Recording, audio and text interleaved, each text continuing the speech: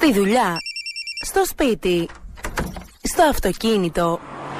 Πριν την έξοδο. Άστρα 92.8. Παίζει δυνατά. Πρωινή έκδοση. Όλα τα θέματα της τοπικής και διεθνούς επικαιρότητας στον Άστρα 92.8. Καλημέρα και καλό δρόμο. Οδηγεί με ασφάλεια ο Όμιλος Πιλακούτα. Απόλυτη οδηγική εμπειρία με BMW. Η χαρά της οδήγησης με Mini.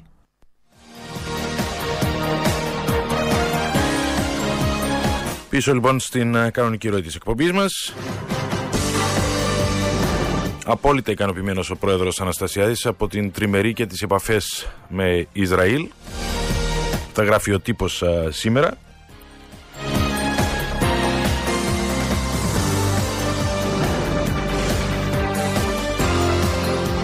Επικεντρώνεται σε δύο σημεία η ικανοποίηση του Πρόεδρου της Δημοκρατίας αλλά και το, τα αποτέλεσματα αυτής της τριμερούς ε, συνάντησης ανάμεσα σε Ελλάδα, Κύπρο και Ισραήλ.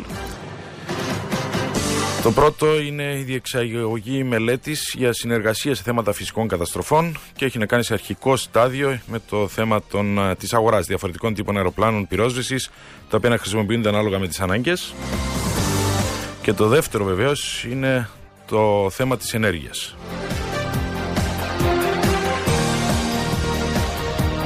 Το θέμα της ενέργειας σε συσχετισμό με τις γεωπολιτικές εξελίξεις στην περιοχή μας. Θα συζητήσουμε με έναν άνθρωπο που έχει αφιερώσει μεγάλο μέρος της ε, ζωής του, αν θέλετε και της επιστημονοσύνης του, σε θέματα ενέργειας εδώ στο νησί μας. Είναι ο κύριος Σόλωνας Κασίνης. Κύριε Κασίνη, καλή σας μέρα.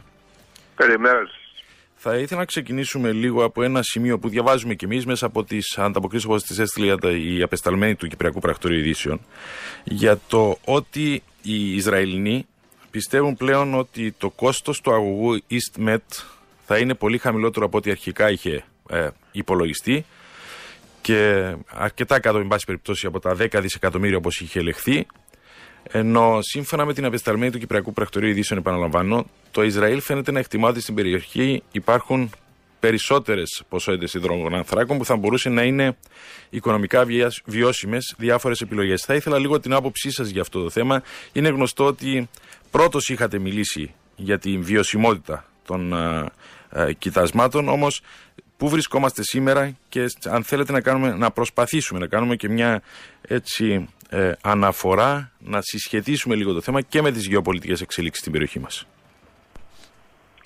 Πράγματι είναι γεγονός ότι η περιοχή μας διεφάνει μετά το ζόρ το κοίτασμα το οποίο βρέθηκε στην Αίγυπτο ότι έχει ουσιαστικά αποθέματα και όλες αυτές οι ποσότητες πρέπει να βρεθούν τρόποι να διοχετευτούν ή στην περιοχή και στη συνέχεια και στην Ευρώπη.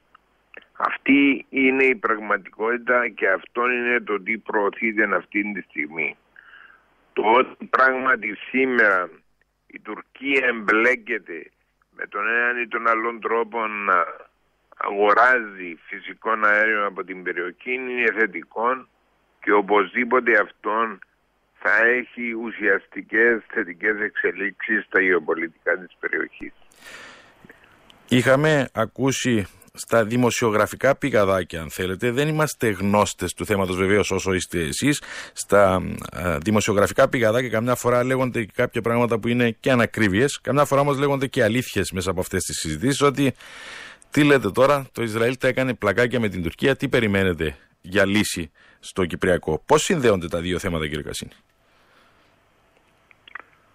Το θέμα είναι ότι πράγματι η Τουρκία έχει μεγάλη ανάγκη από αγορά φυσικού αερίου. Αυτό είναι γνωστό και αυτόν πράγματι είχε διαφανεί και στο παρελθόν όταν η Ρωσία καταρχήν ενδιαφερόταν να έρθει στην περιοχή για τη δημιουργία του τερματικού υγροποίησης και πράγματι μετά διεφάνει ότι ε, προτιμούσαν οπωσδήποτε και αυτό είναι και πολύ πιο οικονομικό να αγοράζει φυσικό αέριο από την περιοχή. Αυτή είναι μια ουσιαστική εξέλιξη και διεφάνει ότι η Τουρκία η οποία έχει τεράστια αποθήματα φυσικού αερίου. Έχει αυτόν το διέξοδο το οποίο θα, διε, θα, θα οπωσδήποτε θα το αξιοποιήσει στο έπακρο. Μάλιστα. Τώρα, εμείς πώς μπορούμε να αξιοποιήσουμε ε, αυτή την ε, συγκυρία, αν θέλετε, σήμερα εν ώψη και των ε, εξελίξεων στο Κυπριακό.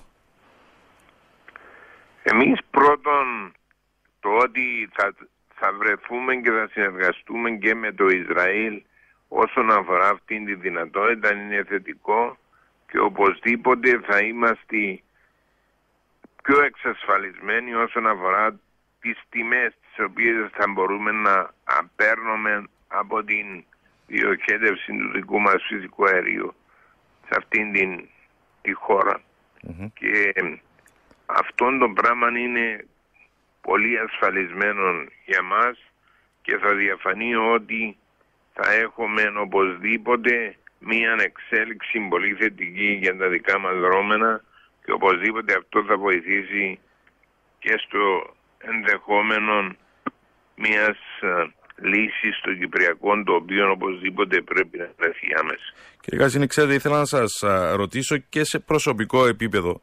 Έχετε αναλώσει πολύ χρόνο, πολλές προσπάθειες. Ε, είστε ο, ο εμπειρογνώμονας που ακούγοντας κάποιος ε, το θέμα υδρογονανθράκων για την Κύπρο αμέσως ε, πάει η σκέψη του τουλάχιστον και σε εσάς. Θα ήθελα να, να ακούσω λίγο τη σκέψη σας, τις προσωπικές σας σκέψεις. Πώς αισθάνεστε σήμερα που είμαστε τόσο κοντά, ναι, μεν είμαστε και μακριά, είμαστε τόσο κοντά σε κάτι που φαινόταν πριν από 15-20 χρόνια ως όνειρο για την κυπριακή ε, οικονομία, για την κυπριακή δημοκρατία, αν θέλετε; Ε, πράγματι φαίνεται τα, τα πράγματα ότι έχουν οδηγηθεί, έχουν δουλέψει οι διαπραγματευτές σε μεγάλο βαθμό και διαφαίνεται ότι η λύση είναι πολύ κοντά. Α, και αυτό το πράγμα οπωσδήποτε θα διαρευνηθεί περαιτέρω για να βρεθεί μια ουσιαστική λύση για να τελειώνουμε με αυτό το θέμα και συμφέρει προπάντο και στην Τουρκία η οποία εγώ σας διαβεβαιώ ότι είχε μείνει πίσω από αυτές τις συναντήσεις και ένα πολύ πιο θετικό βήμα είναι ότι και η Τουρκία πρέπει να εμπλακείς σε αυτήν την, αυτήν την διαδικασία της Κύπρου, Ελλάδας και του Ισραήλ. Mm-hmm. Κύριε Κασίνη, σας ευχαριστώ πάρα πολύ για αυτή την παρέμβαση. Να είστε καλά και καλή σας μέρα. Καλημέρα σας.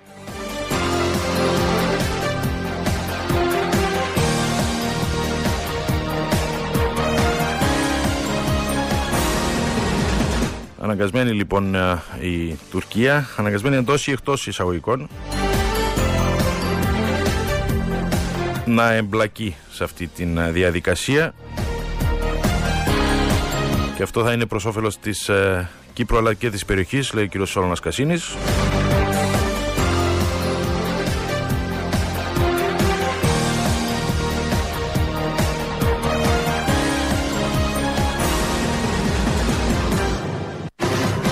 Εμείς θα περάσουμε στον, ε, στην πανεπιστημιακή κοινότητα. Οι πολιτικοί τα είπαν όλα τις τελευταίες μέρες. Τα λένε, τα αναλύουν. Έχουν τις διαφωνίες τους, καμιά φορά και πολύ έντονες. Καλό είναι να ακούμε και τους επιστήμονές μας, την πανεπιστημιακή μας κοινότητα. Πάμε λοιπόν στον δόκτωρο Ανδρέα Θεοφάνος. Κύριε Θεοφάνος, καλή σας μέρα. Καλή σας μέρα. Συζητούσαμε πριν από λίγο με τον κύριο Σόλωνα Κασίνη για, το, αν, για τη συγκυρία, αν θέλετε, της, ε, της ανέβρεσης των υδρογονανθράκων, για τη συμφωνία στο Ισραήλ ε, χθες, την τριμερή συνάντηση μάλλον στο Ισραήλ ε, χθες. Και θέτω και σε εσάς για να ξεκινήσουμε από αυτό το ερώτημα. πόσο η συγκυρία αυτή βοηθά και στην επίλυση ή όχι του κυπριακού προβλήματος. Ο κύριος Κασίνης μας είπε πριν από λίγο ότι η Τουρκία θέλει δεν θέλει θα πρέπει να εμπλακείς σε αυτή την ε, συμμαχία εντός ή εκτός εισαγωγικών. θα πρέπει να συνεργαστεί με Ελλάδα, Κύπρο και Ισραήλ για το θέμα αυτό. Είναι, ε, όλα συνδέονται και με τις γεωπολιτικές εξελίξεις στην περιοχή μας και θα ήθελα να ξεκινήσουμε από αυτό την συζήτησή μας. Ναι, η, προφανώς η Τουρκία θα ήθελε μια ενεργειακή συνεργασία στην οποία η ίδια να έχει ένα ουσιαστικό, ένα κεντρικό ρόλο αλλά ταυτόχρονα και ταυτόχρονα θα ήθελε την επίλυση του κυπριακού προβλήματος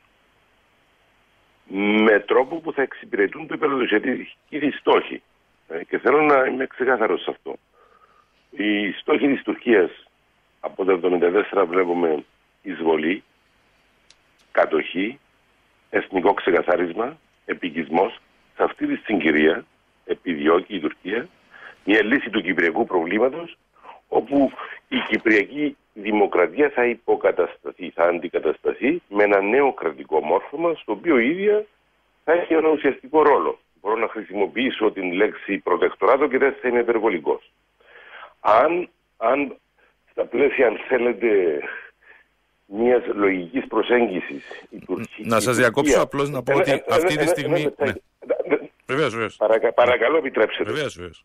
Ε, εάν στη σημερινή συγκυρία εμείς μπαίνουμε σε μια συνομιλία η οποία θα, θα στόχευε στο να υπάρξουν, να ικανοποιηθούν οι στόχοι όλων των εμπλεκομένων μερών. Εάν η Τουρκία συνενούσε σε μια βιώσιμη λύση του κυπριακού προβλήματος που θα διασφάλιζε και την κυπριακή δημοκρατία και την λειτουργικότητα του κράτους, δεν θα υπήρχε κανένα πρόβλημα σε, αυτή, σε μια τέτοια σχέση να γίνει μια ευρύτερη συνεργασία και με τη συμμετοχή της Τουρκίας στα ενεργειακά. Μάλιστα. Αλλά η Τουρκία τα θέλει όλα σε όλα τα επίπεδα. Αυτό είναι γνωστό. Είναι γνωστή και η, πρακτική της ε, Τουρκίας στην περιοχή. Απλώς ήθελα να σας ρωτήσω, επειδή αναφερθήκατε στο προτεκτοράτο. Ουσιαστικά σήμερα όμως υπάρχει ένα προτεκτοράτο της Τουρκίας εντός εδαφών της Κυπριακής Δημοκρατίας. Ναι, δεν, θα, δεν θα ήθελα να είναι όλη η Κύπρος προτεκτοράτος. Μάλιστα. Είναι... Δηλαδή, δηλαδή, δηλαδή αυτή τη στιγμή είναι κατανοητό. Και θέλω να πω και κάτι άλλο σε σχέση με αυτά που ακούμε. Όταν εκφράζουμε κάποιους προβληματισμούς για συγκεκριμένα σχέδια λύσης, δεν έχει να κάνει, δεν έχει να κάνει με το ότι δεν α, επιδιώκουμε λύση. Υπάρχουν διάφορες αποχρώσεις. Προσωπικά, αλλά και εμείς στη δουλειά που κάνουμε ως Κέντρο Ευρωπαϊκών Διεθνών Υποθέσεων στο Κέντρο Ερευνών, εμείς έχουμε αξιολογήσει το συγκεκριμένο μοντέλο που συζητείτε και θεωρούμε ότι λύση πάνω σε αυτά τα πλαίσια θα δημιουργήσει πολύ περισσότερες περιπλοκές και προβλήματα. Καταρχήν το έχω μπει και δεν έχει αμφισβητηθεί ούτε από διεθνείς κύκλους ούτε από την ίδια την κυβέρνηση ότι δεν μπορεί να, να λειτουργήσει άμεσα μία Κύπρος ε, στη βάση αυτού που συζητείται στα πλαίσια της Ευρωζώνης. Αυτό έχει γίνει κατανοητό. Το δεύτερο που έχει γίνει κατανοητό είναι ότι ο τραπεζικός τομέας τα κατεχόμενα έχει τόσα προβλήματα που κάνει τις δικές μας τράπεζες να μοιάζουν με άγγελους σωστούς. Και αυτό έχει γίνει δεχτό και από διεθνείς κύκλους και στην Κύπρο. Τρίτο, ως εκ τούτου είναι αναγκαίο να υπάρξουν μεταβατικές περιόδοι. Άρα με, με βάση αυτό το θετικό, εμείς ως κέντρο ερευνών έχουμε επεξεργαστεί και ε, διάφορα, διάφορα θέματα, διάφορες προτάσεις αν θέλετε και μπορώ να σας πω ότι στη σημερινή συγκυρία θα ήταν χρήσιμο εάν διότι είναι σημαντικό να προσπαθήσουμε να τερματιστεί το έξοδο. Αν θα μπορούσαμε να προχωρήσουμε σε μια κατάσταση πραγμάτων όπου να, εφαρμόζει, να αρχίσει η εφαρμογή του κινητικού και χτυμένου στην κατεχόμενη Κύπρο και με την εμπλοκή της ίδιας της Ευρωπαϊκής Ένωσης. Μιλώ για το πρωτόκολλο 10, το οποίο να παραμεριστεί. Το οποίο αυτή η ενέργεια να αντικριστεί στα πλαίσια μιας ορικής προσπάθειας επίλυσης του κυπριακού προβλήματος, αν θέλετε, και εξελικτικών διαδικασιών, με οδικών χάρτη και το καθεξής. Ε, αυτό, αν θέλετε, θεωρώ ότι αυτή θα ήταν η πολιτική η οποία θα έπρεπε να έχει ακολουθηθεί προκολού. Κακώς την επόμενη μέρα του δημοψηφίσματος δεν, δεν ηγέρθη. Το κατανοώ διότι τότε ήταν άλλα τα δεδομένα. Κακώς δεν προχωρήσαμε τα τελευταία χρόνια. Έχετε επεξεργαστεί μια τέτοια πρόταση. Μιλώντας χθες έτσι λίγο εκτός αέρα, μου είχατε πει ότι ετοιμάζατε κάτι για να παρουσιαστεί ως κέντρο ερευνών ε, μέσα στον Ιανουάριο εξελίξεις Σα έχουν προλάβει εντός ή εκτός εισαγωγικών. Ω εκ τούτου, mm-hmm. ο στόχος είναι αρχές της επόμενης εβδομάδας να υπάρξει μια κατάσταση πάνω σε αυτήν την κατάσταση εισηγήσεων mm-hmm. που παραπέμπουν σε αυτό που σας λέω. Μάλιστα. Και θα προσπαθήσω κι εγώ πολύ συνοπτικά να βάλω κάτω αυτή την κεντρική ιδέα. Κύριε Κατή, ναι. ο στόχος δεν είναι απλώς να λέμε όχι σε κάτι. Πρέπει να έχουμε εναλλακτική πρόταση. Πάντα αυτός είναι ο στόχος, ιδιαίτερα της επιστημονικής κοινότητας, της πανεπιστημιακής κοινότητας. Αυτή είναι η, ο, και η αποστολή της, αν θέλετε, στην κοινότητα. Βέβαια. Αλλά και σε σχέση όμως με αυτό που συζητείτε, με το γεγονός ότι ε, αντικρίζεται η φυστάμενη βάση λύση με θρησκευτική ευλάβεια. Όταν λέτε η φυστάμενη βάση λύσης, εννοείται τη διζωνική ομοσπονδία; Πάω πέρα από αυτό. Mm-hmm. Πάω πέρα από αυτό, διότι και θα έρθω στο θέμα της ναι. διζωνικής ομοσπονδίας. Πάω πέρα από αυτό. Μιλώ για την, για την συμφωνία Αναστασία Διαρρούτου. Μάλιστα. Που μιλάει για ότι η διζωνική δικαιωτική ομοσπονδία θα μπορούσε να υπάρξει ένα πλαίσιο στο οποίο α, να, υπάρχει, α, να υπάρχουν δύο περιφέρειες. Μάλιστα. Και, μια, και, μια, και αυτό η ζωνική δικοινοτική ομοσπονδία είναι. Άλλο είναι το αποτέλεσμα, άλλο είναι το αποτέλεσμα μιας λύσης στην οποία υπάρχει περιφέρεια, υπάρχουν περιφέρειες και άλλη λύση στην οποία υπάρχουν συνιστώντα κράτη. Μάλιστα. Ε, αυτό το πράγμα με εκπλήττει το γεγονός ότι το πολιτικό σύστημα προσπέρασε αυτό, αυτό το δεδομένο όλα αυτά τα χρόνια χωρίς να έχει επαρκή κατανόηση. Μάλιστα. Κύριε καθηγητά, θα αναμένουμε να ολοκληρωθεί αυτή η, αυτές οι προτάσεις που έχετε. Θα, θα έχουμε την ευκαιρία να τα πούμε ξανά ε, εφόσον οι εξελίξεις επισπεύδουν και αυτή την έννοια. Σας ευχαριστώ για αυτή την ε, σύντομη Εγώ σας ευχαριστώ. Εγώ σας ευχαριστώ πολύ για τη φιλοξενία. Να είστε καλά, καλή σας μέρα.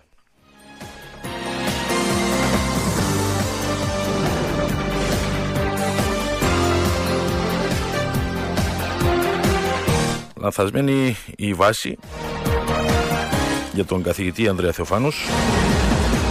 Πέραν από την άρνηση λέει όμως ότι υπάρχουν και προτάσεις. Αναμένουμε να ακούσουμε και αυτές τις προτάσεις.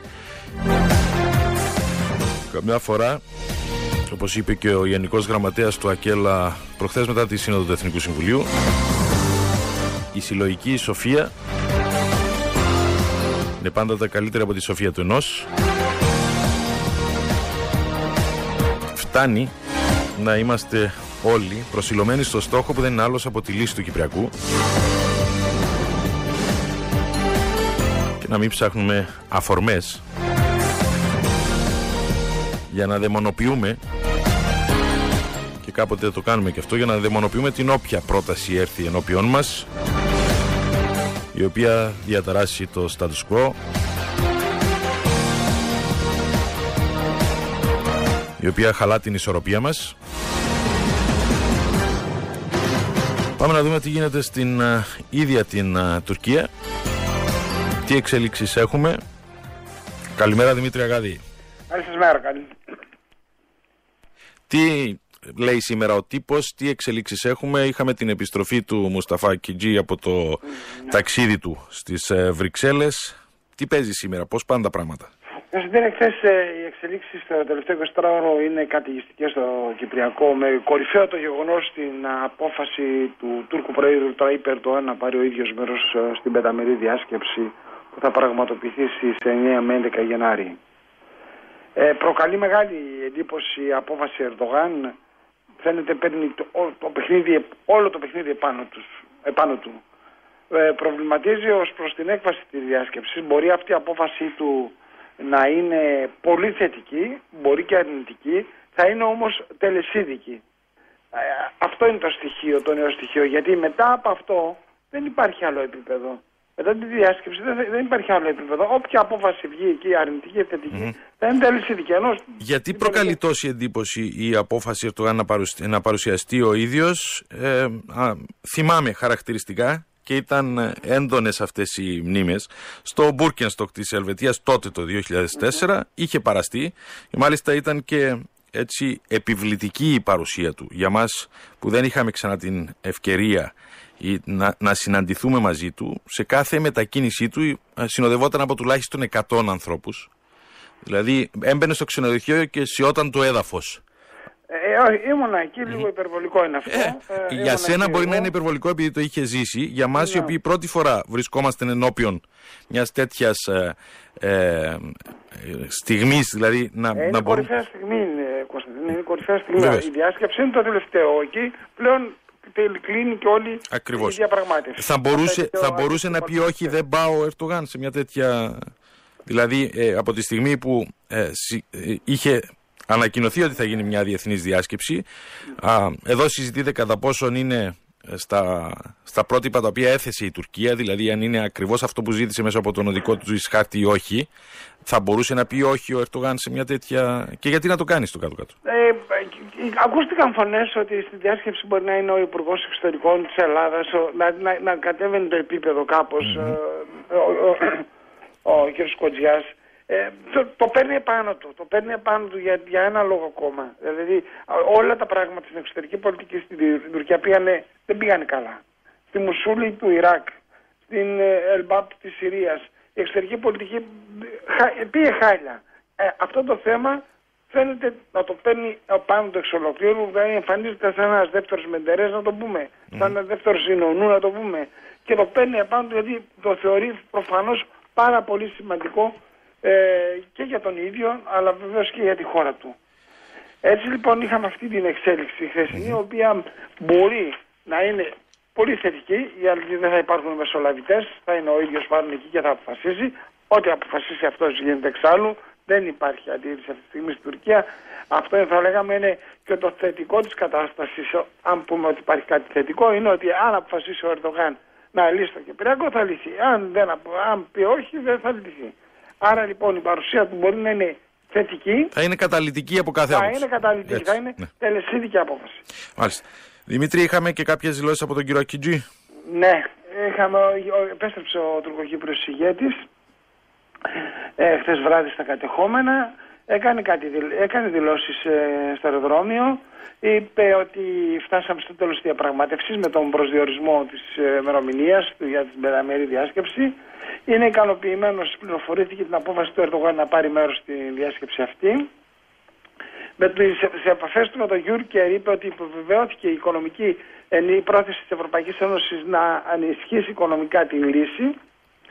Ε, δεν δημιουργεί πρόβλημα, είπε, η παρουσία της Ευρωπαϊκής Ένωσης στη διασκεψη Ε, είναι των εγκυτριών δυνάμεων, αλλά ε, ένας, με, υπό ένα καθεστώς όπως το Μπουργκερ δεν υπάρχει κανένα πρόβλημα να εκπροσωπείται και η Ευρωπαϊκή Ένωση.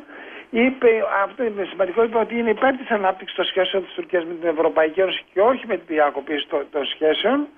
Ε, και εξέφρασε την ικανοποίηση ε, για την, ε, για την ε, επιβεβαίωση της στήριξης των συνομιλιών από την Τουρκία. Θέλουμε, είπε, να, τον, σε λίγες μέρες Εύχομαι να, ο Έλληνας Υπουργός, ο Πρωθυπουργός κ. Τσίπρας, να, ε, να ανακοινώσει και την δική του συμμετοχή. Βλέπουμε, γι' αυτό σας λέω, βλέπουμε ότι υπήρχε ένας προβληματισμός σε ποιο επίπεδο θα είναι η ελληνική παρουσία η ελληνική, της ελληνικής κυβέρνησης και ε, το, το λέει εδώ από ε, στο τέλος ε, των δηλώσεών του, εύχομαι, είπε ο Έλληνα Πρωθυπουργός κ. Τσίπρα σύντομα να ανακοινώσει τη δική του συμμετοχή. Δημήτρη, με την, με, αφορά, με την άδειά σου να βάλουμε στην κουβέντα μας και τον Πανεπιστημιακό, τον κύριο Νιαζή Κιζίλιουρεκ. Κύριε Κιζίλιουρεκ, καλή σας μέρα. Καλή σας μέρα, καλή μέρα Δημήτρη. Καλημέρα. Συζητάμε βεβαίως την επικαιρότητα όσο έχει με τις δηλώσεις, αλλά ε, η επικαιρότητα έχει και μια άλλη όψη. Είναι η όψη αυτό που συμβαίνει καθημερινά εδώ στην uh, Λευκοσία, στην κατεχόμενη Λευκοσία, αλλά δεν πάβει από το να είναι εδώ. Καμιά φορά το ξεχνάμε ότι είναι τόσο δίπλα μας, είναι τόσο... Είναι μια πόλη είμαστε, μια χώρα είμαστε, έστω και αν βρίσκεται κάτω από βίο διαχωρισμό. Βλέπουμε όμως την τουρκοκυπριακή κοινότητα, τους τουρκοκύπριους νέους, τους τουρκοκύπριους συνδικαλιστές πολύ πιο εύκολα από ότι οι Ελληνοκύπροι να διαδηλώνουν και μάλιστα να διαδηλώνουν έντονα για θέματα τα οποία φαινομενικά δεν είναι πολιτικά, όπως ήταν ένα τροχαίο δυστύχημα, εξελίσσεται σε μια ε, πολιτική διαμάχη αυτή τη στιγμή στα κατεχόμενα και θα ήθελα να ξεκινήσουμε από αυτό ακριβώς κύριε Κιζίλιουρεκ για το αν θέλετε την ε, ψυχολογία του, του κόσμου το, της τουρκοκυπριακής κοινότητας σήμερα και πόσο πιο κοντά βρίσκονται σε μια ε, ψυχολογία του Κύπριου από ό,τι βρίσκεται ακόμα και η ίδια η ελληνοκυπριακή κοινότητα. Θα έλεγα να, για την ψυχολογία, ίσως ε, καλύτερα θα λέγαμε, πρόκειται αγανακτισμένους τουρκοκύπριους. Ε, και αυτή η αγανάκτηση έρχεται από το φόβο αφανισμού, ε, έρχεται από μια επίγνωση ότι μέρα και, κάθε, κάθε μέρα και περισσότερα κατεχόμενα εξελίσσεται σε επαρχία της Τουρκίας και αντιλαμβάνονται την επιβίωση της κοινότητας ε, μέσα σε μια κυπροκεντρική προσέγγιση που λέει μια ομοσπονδιακή πολιτεία πρέπει να φτιαχτεί στην Κύπρο. Άρα είναι υπαρξιακά αν θέλετε τα θέματα της κοινότητας, γι' αυτό όλα τα θέματα πολιτικοποιούνται βεβαίως γιατί έχουν τη συμμορική τους αξία. Ε, το, κάποτε είναι το νερό, κάποτε είναι γραφείο για νεολαία, κάποτε είναι ένα δυστύχημα που συνδέεται με την ώρα βεβαίως, με την ώρα που ταυτίζεται δεξί για με τη Τουρκία. Και μέσα σε όλα αυτά ε, υπάρχει μια έντονη κινητοποίηση ότι η τουρκοπιακή κοινότητα μέρα με μέρα χάνεται και πρέπει να υπερασπιστεί. Δεν είναι καθόλου τυχαία ότι όλοι αυτοί οι άνθρωποι που κινητοποιούνται ε, στα κατεχόμενα είναι ταυτόχρονα και οι ίδιοι φορείς της επίλυσης του κυπριακού ζητήματος. Είναι αυτοί που φέρουν λύση τώρα. Είναι αυτοί που στηρίζουν τον Ακριτζή. Είναι αυτοί που μιλούν για Ομοσπονδιακή Κύπρο. Άρα συνδέονται άμεσα αυτά τα πράγματα. Mm. Η τουρκοκυπριακή κοινότητα έφτασε σε ένα σημείο που βιώνει καθημερινά ε, ένα τεράστιο δίλημα και ένα άγχος κατά πόσον θα επιβιώσει ή όχι. Και αυτοί που έχουν αυτή την έννοια, γιατί όλοι δεν έχουν αυτή την έννοια, μια δεξιά παράταξη ταυτίζεται με την Τουρκία μητέρα πατρίδα και δεν έχει και πρόβλημα να αφανιστεί κάποια στιγμή για να μείνει ως μέσα στο τουρκικό έθνος Τούρκος της Κυπριακής καταγωγής. Άρα λοιπόν αυτοί που πραγματικά ε, ανησυχούν, είναι αγανακτισμένοι, διεκδικούν και τη λύση του κυπριακου ε, Μιλώντας με τον Δημήτρη και Δημήτρη, ανά πάσα στιγμή μπορείς να παρέμβεις. Μιλώντας χθες βράδυ με τον Δημήτρη, είχαμε πει ότι ένα παράπονο που έχουν οι Τουρκοκύπροι, αν θέλετε, και από την δική μας πλευρά, είναι το, το φαινόμενο της ατιμορρησίας στην, στα εδάφη που ελέγχονται από την Κυπριακή Δημοκρατία. Όσες φορές είχαμε, αν θέλετε, φαινόμενα έξαρσης βίας εναντίον Τουρκοκυπρίων και δεν ε, τίνουμε να τα μεγαλοποιήσουμε. Είχαμε όμως κάποια επεισόδια, είχαμε ζημιές σε αυτοκίνητα, είχαμε εκφοβισμό ε, κόσμου ο οποίος περνά από, μπροστά από συγκεκριμένο ε, σωματείο. Δεν είναι καθημερινά τα φαινόμενα. Είχαμε το ξυλοδαρμένο στα ταξιτζή. Δεν είναι καθημερινά τα φαινόμενα. Ωστόσο δεν είδαμε και να τιμωρείται κάποιος ε, από την αστυνομία για το θέμα αυτό και αισθάνονται έτσι λίγο, όπως, μας, όπως μου έλεγε και ο Δημήτρης, αισθάνονται έτσι λίγο ε, άβολα με αυτό το ζήτημα οι Τουρκοκύπροι. Πολύ σωστά το είπατε. Ε, κοιτάξτε, ε, αυτό, αυτά τα μικρά ε, στην νεότερη μας ιστορία έχουν κάνει μεγάλη ζημιά. Ε, τα μικρά όταν έχουν συμβολική αξία ε, μεγαλοποιούνται και βρίσκουν θέση στη συλλογική μνήμη ανησυχίες των τουρκογυπρίων, ε, ιδιαίτερα αυτό που πιστεύω στη λύση απέναντι σε αυτά τα φαινόμενα μικρών βιαίων εξ, ε, καταστάσεων, ε, πηγάζει από το γεγονός ότι δεν λειτουργεί το κράτος δικαίου. Ενώ μιλάμε για μια ευρωπαϊκή χώρα, όποιος δέρνει όποιο ανεξάρτητα από την εθνοτική καταγωγή του, δικάζεται. Τα πράγματα είναι απλά. Όποιος δέρνει κάποιον, παραβιάζει κάτι, δικάζεται. Αυτό λέει το κράτος δικαίου. Όταν το θύμα είναι τουρκοκύπριος και αυτοί οι μηχανισμοί δεν λειτουργούν, τότε έχουμε πάρα πολύ σοβαρό πρόβλημα. Πολύ πιο μεγα, παραπάνω πρόβλημα είναι αυτό που δεν λειτουργεί το κράτος δικαίου παρά από το παράπονο των τουρκοκυπρίων σε σχέση με αυτά τα γεγονότα. Mm-hmm. Κωνσταντίνο. Βεβαίως, Δημήτρη. Ναι. Α, συγγνώμη, συγγνώμη μοιάζει, συγγνώμη. Παρακαλώ, Δημήτρη. Α, ε, ε, το εξέφρασα αυτό, ρε Κωνσταντίνε, γιατί εγώ είμαι θύμα αυτής της κατάστασης. Και θύμα όχι του ξυλοδαρμού τόσο, της ατιμορρησίας. Δηλαδή, ως μειονότητα που ζούσαμε στην πόλη, δεν μας πείραζε τόσο πολύ, γιατί εντάξει βγαίνει ένας ε, ξεροκέφαλος και σου χτυπάει, ξέρω εγώ. Αλλά το ότι πας το ότι η αστυνομία, το ότι δεν υπάρχει το κράτος να σε προστατεύσει, αυτό είναι πολύ μεγαλύτερο από το ίδιο το ξυλοδαρμό. Γι' αυτό ε, ε, καταλαβαίνω τους Τουρκοκύπριους ε, και, και, γι' αυτό ε, σου μετέφερα αυτό το παράπονο. Ναι. ναι, και να προσθέσω σε αυτό, ακριβώς βασίζοντας πάνω στην εμπειρία των Ελλήνων της Κωνσταντινούπολης, ότι όταν το έθνος δέρνει το κράτος πάει δίπλα στο έθνος και αφήνει το πολίτης του κράτους, Έλληνες πολίτες της τουρκικής δημοκρατίας να θυματοποιηθούν, ε, γιατί δεν, στην αντίληψη του κράτους αυτοί δεν είναι πολίτες της Τουρκίας, Ε, εδώ πρόκειται ακριβώς το ίδιο. Όταν δέρνεις έναν τουρκοκύπριο, δέρνεις ένα πολίτη της Κυπριακής Δημοκρατίας. Και αυτό είναι, είναι πολίτης ναι. ή δεν είναι πολίτης τουρκοκύπριος. Τουρκοκύπροι είναι, ανήκουν στην Κύπρο ή δεν ανήκουν στην Κύπρο. Αυτά, πίσω σε αυτά τα πράγματα, κρύβεται ε, ουσιαστικά επιρροές του εθνικισμού, Κύπρος είναι ελληνική, η Τουρκοκύπρη είναι μια μειονότητα, τέλος πάντων, όταν μπαίνει έτσι διλήμματα και δεν υπερασπίζονται τα συμφέροντα της τουρκοκυπριακής κοινότητας σε διαδικασίες ε, του κράτους δικαίου, τότε έχουμε πολύ σοβαρό πρόβλημα. Γιατί έχω μια αντίληψη ότι στο κάτω-κάτω είναι ένας Τούρκος φάξιλο. Αυτό στο κάτω-κάτω είναι ένας Τούρκος. Έχει οδηγήσει στο παρελθόν σε τεράστιες σύγκρουσει. Ναι, είχαμε και το. Εξάλλου, είτε, εξάλλου. Είτε, είτε, λέγαμε στο κάτω-κάτω είναι ένας Τούρκος ή άσε μωρέ, παιδιά είναι. Ε, δε, μην δίνετε yeah. και τόση σημασία. Γιατί Όμως τα παιδιά είναι όταν δέρνει ένας Έλληνας. Αν, αν έτρωε Έλληνας ξέρω, δεν ξέρω αν θα ήταν παιδιά αυτοί που έδαιναν. Ε, βέβαια, δεν θα Προσέξτε εδώ, παιδιά είναι όταν δέρνουν. Όταν τι τρώνε είναι. Ναι. Βιώσαμε και 63 και 64, παιδιά ήταν έτσι, τι θα κάνουμε. Προσέξτε, εδώ υπάρχει ένα ζήτημα. Όμως να μην το μεγαλοποιήσουμε. Ακριβώς, ας μην το μεγαλοποιήσουμε. Αυτή τη στιγμή αυτό δεν είναι το κύριο θέμα. Αυτή τη στιγμή το θέμα μας είναι, αν θέλετε, και γι' αυτό σας καλέσαμε και τους δύο, είναι οι εκδηλώσεις των τουρκοκυπρίων και πώς αυτές ε, μετά από το 2004 που και πάλι οι Τουρκοκύπροι ήταν στους δρόμους πώς αυτές μπορούν να οδηγήσουν αν θέλετε και σε μια κουλτούρα σε μια, ε, να βοηθήσουν τις προσπάθειες που καταβάλουν οι ίδιοι ηγέτες για επίλυση του Κυπριακού. Κοιτάξτε, εκφραζόμενη βούληση των Τουρκοκυπρίων για Ομοσπονδιακή Κύπρο ε, και στο 2-4 και, αυ, και σε εκλογή άκρηση και με αυτές τις κινητοποιήσεις τώρα είναι μια προσπάθεια που μπορεί να καρποθορήσει μόνο αν αγκαλιάζεται και από την ελληνοκυπριακή κοινότητα. 2004 δεν αγκαλιάστηκε. Ε, αυτή τη στιγμή αυτές οι προσπάθειες για να δώσουν καρπούς και πάλι σημαίνει πρέπει να υπάρχει ε, μια αλληλεγγύη ε, και από την ελληνοκυπριακή κοινότητα. Αυτή η αλληλεγγύη όμως δεν είναι μια κουβέντα.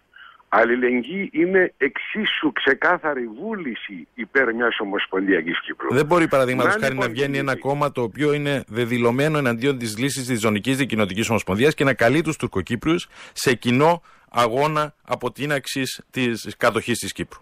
Αυτό ακριβώς εννοούσα. Ακριβώ η καλύτερη αλληλεγγύη με την τουρκοκυπριακή κοινότητα είναι ξεκάθαρη βούληση η Ομοσπονδιακή Κύπρο.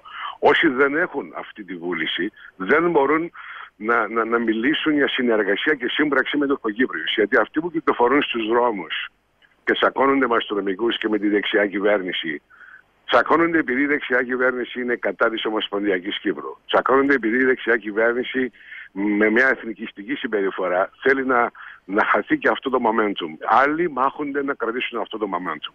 Αν τώρα αυτοί οι Ελληνοκύπροι που θέλουν να χαθεί το momentum και χαίρονται τόσο πολύ κάθε φορά που μπαίνουμε σε κρίση και στεναχωρούνται κάθε φορά που έχουμε μια προοπτική, αυτή η μερίδα της ελληνοκυπριακής κοινότητας δεν μπορεί να είναι σε αλληλεγγύη με τους Κύπριου. Μάλιστα. Κύριε καθηγητά Δημήτρη, κύριε Λούρεξ, σας ευχαριστώ. Δημήτρη Αγάδη, ε, σας ευχαριστώ και τους δύο πάρα πολύ. Ήταν α, πολύ καλή, όμορφη η κουβέντα μας. Δυστυχώς ο χρόνος δεν μας παίρνει για περισσότερα. Θα έχουμε την ευκαιρία να τα ξαναπούμε και με τους δύο σας. Σας ευχαριστώ πολύ και τους δύο. Καλή σας μέρα. Σας χαιρετώ. Καλή σας μέρα. Καλή συνέχεια. Τη ζωή να την παίρνεις πολύ σοβαρά. Χαμογέλα της. Άστρα 92.8. Παίζει δυνατά. Για τα θέματα της ε, οικονομίας μας, Κύπρος έξοδο από, έξοδος από το μνημόνιο, τέλος της ύφεσης, τέλος και της κρίσης. Στο ερώτημα αυτό θα απαντήσει σήμερα σε δημόσια παρουσίαση της έκθεσης για την οικονομία και την απασχόληση για το 2016 του Ινστιτούτου Εργασίας Κύπρου, της ΠΕΟ. Σήμερα το πρωί στην, στην ΠΕΟ θα δοθούν απαντήσεις αν το τέλος της ύφεσης είναι και το τέλος της κρίσης αν με βάση τα όσα μας είπε η Τρόικα έχουν υλοποιηθεί Και κυρίως αν οι παραγωγικές δυνατότητες της Κύπρου μετά από τέσσερα τόσα χρόνια ύφεσης και μνημονίου είναι ικανές να απαντήσουν στο πρόβλημα της ανεργίας. Έχουμε την χαρά να φιλοξενούμε τηλεφωνικώ τον κύριο Ηλία Ιωακίμογλου, είναι οικονομολόγος επιστημονικός συνεργάτης του Ινστιτούτου Εργασίας Κύπρου της ΠΕΟ. Κύριο Ιωακίμογλου, καλή σας μέρα. Καλημέρα σας. Θέσαμε πολλά ερωτήματα από την αρχή, να τα πάρουμε ένα-ένα. Είναι το τέλος της ύφεσης τελικά, το τέλος και της κρίσης και πώς θα το αντιληφθεί αυτό ο πολίτης σήμερα; Ε, η, το τέλος της ύφεσης είναι σίγουρα με την έννοια ότι πλέον ε, υπάρχει μία αύξηση της ε, παραγωγής και ε, εξορισμού η ύφεση είναι μία κατάσταση όπου η παραγωγή μειώνεται για περισσότερα τρίμηνα. στην Κύπρο είχαμε μια πολύ βαθιά ύφεση, πολύ ασυνήθιστη για καιρό ειρήνης. Ήταν τα τρία χρόνια 2012-2014. Από το πρώτο τρίμηνο του 2015 πλέον η παραγωγή αυξάνεται με μικρούς ρυθμούς ε, στην αρχή, κάπως ψηλότερους στη συνέχεια. Επομένως έχουμε μία όντως το τέλος της ύφεσης. Αλλά πρέπει να δούμε ε, ε, τι σημαίνει αυτό από τη μεριά και των εργαζομένων και των μεγεθών που ενδιαφέρουν τους λιγότερο ισχυρούς πολίτες της χώρας. Ε, σε καμιά περίπτωση δεν αποτελεί το τέλος της κρίσης διότι παραμένουν ε, ε, μία σειρά διαρθρωτικών προβλημάτων τα οποία πρέπει να λυθούν, τα οποία είναι πολύ ε, σοβαρα αυτό δηλαδή θα, θα, θα, σημάνει το, θα σηματοδοτήσει το τέλος της κρίσης, θα είναι η λύση αυτών των προβλημάτων που θα επιτρέψουν να υπάρξει και μία μακροχρόνια προοπτική ε, ανάπτυξης. Διότι αυτή τη στιγμή μπορεί με να έχουμε κάποιες αυξήσεις στην ε, παραγωγή αλλά ο μέγιστος ρυθμός με τον οποίο μπορεί να αναπτύσσεται η κυπριακή οικονομία αυτή τη στιγμή με τις δεδομένες ε, συνθήκες ε, ανάλογα με τις εκτιμήσεις κυμαίνεται μεταξύ 0,5% του ΑΕΠ και, και 2% στην καλύτερη περίπτωση και αυτός είναι ένας μέσος όρος. Σημαίνει ότι μπορεί η παραγωγή να ανεβαίνει λίγο πιο πάνω ή να κατεβαίνει ε, πιο κάτω. Αυτό που επικρατεί, αν θέλετε και με συγχωρείτε που σας διακόπτω, ανάμεσα στον κόσμο που δεν έχουμε και ιδιαίτερες οικονομικές γνώσεις, αν θέλετε, ε, είναι το ότι πιάσαμε πάτο. Και είναι φυσιολογικό όταν πιάσεις πάτο να αρχίσεις σιγά σιγά να προσπαθείς να ανέβεις προς την επιφάνεια. Κάποιοι τα καταφέρνουν, στην πορεία χάσαμε και πάρα πολλούς. Και αυτό είναι το, η, η, τραγωδία. Ναι, το καταλαβαίνω. Δεν, δεν, δεν νομίζω όμως ότι έχει συμβεί Αυτό που συνέβη είναι ότι υπήρξαν στο, στη διάρκεια του 2015 και του 2016 δύο εξωτερικοί παράγοντες οι οποίοι ήταν πάρα πολύ ευνοϊκοί. Είχαμε μια κατάρρευση της τιμής ε, του πετρελαίου ε, από τα 80 στα 20 ε, δολάρια το βαρέλι. Αυτό σημαίνει ότι μια χώρα που εισάγει, ε, κάνει μεγάλες εισαγωγές πετρελαίου ε, ξαφνικά βρίσκεται με πολύ περισσότερο εισόδημα. Γιατί όταν οι τιμές του πετρελαίου είναι ψηλές, διαθέτει ένα μεγάλο μέρος του εισοδήματό της για να το αγοράσει.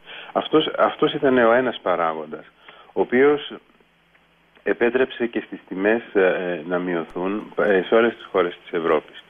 Και ε, επειδή η, Κύπρος ακολουθεί τις τιμές του, του ανταγωνισμού, ακολουθεί τις τιμές ε, στην Ευρώπη γενικότερα, είχαμε μία μείωση του πληθωρισμού και μείωση των τιμών μάλιστα. Και αυτό ε, αύξησε το εισόδημα, ε, την αγοραστική δύναμη ε, των, κυρίως των μισθών, οι οποίοι παρά το γεγονός ότι είναι σχεδόν στάσιμοι, ελάχιστα έχουν αυξηθεί. Μόνο το 2016 παρατηρείται μία κάποια αξιόλογη αύξηση. Ε, επειδή λοιπόν συνέβησαν αυτά, αυξήθηκε η εσωτερική ζήτηση. Από την άλλη, είχαμε και την ε, κρίση στην περιοχή μας, η οποία βοήθησε, έστω και ως συγκυρία, αν θέλετε, στην αύξηση του τουριστικού ρεύματος προς την Κύπρο. Βεβαίως, αυτό συνδυάστηκε επιπλέον με μια αποδυνάμωση του ευρώ έναντι των άλλων νομισμάτων των χωρών με τις οποίες, ε, ε, που είναι πελάτες της Κύπρου. Mm-hmm. έγιναν τα κυπριακά, ε, οι κυπριακές εξαγωγές φθηνότερες.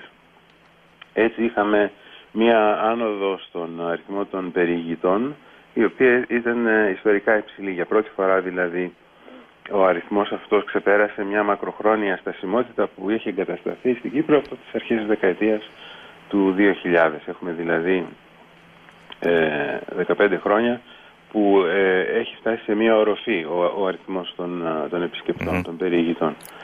φαίνεται ότι αυτές οι δύο συνθήκες που αναφέραμε επέτρεψαν να, να ξεπεραστεί. Ε, αλλά ε, είναι δύο παράγοντες δύο παράγοντες που μπορούν ε, εύκολα... Είναι μεταβλητοί, είναι μεταβλητές αυτές. Δεν μπορούμε να ξέρουμε τι θα ναι. συμβεί και ναι. αύριο ή μεθαύριο. Γι' αυτό ο τουρισμός θα πρέπει να, να βασιστεί σε, σε αλλαγές, να βελτιώσει το προϊόν του και να εδραιώσει μια μακροχρόνια νέα περίοδο άμφισης η οποία δεν μπορεί να βασίζεται σε, σε εξωτερικούς παράγοντες.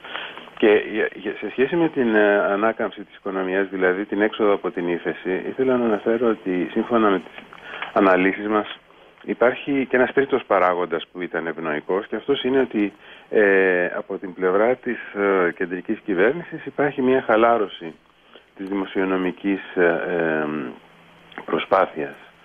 Παρόλο που εμφανίζονται οι, τα πλεονάσματα στο, στον κρατικό προπολογισμό, ένα, ένα μεγάλο μέρος από αυτά οφείλεται στην ίδια την ε, ανάκαμψη της οικονομίας.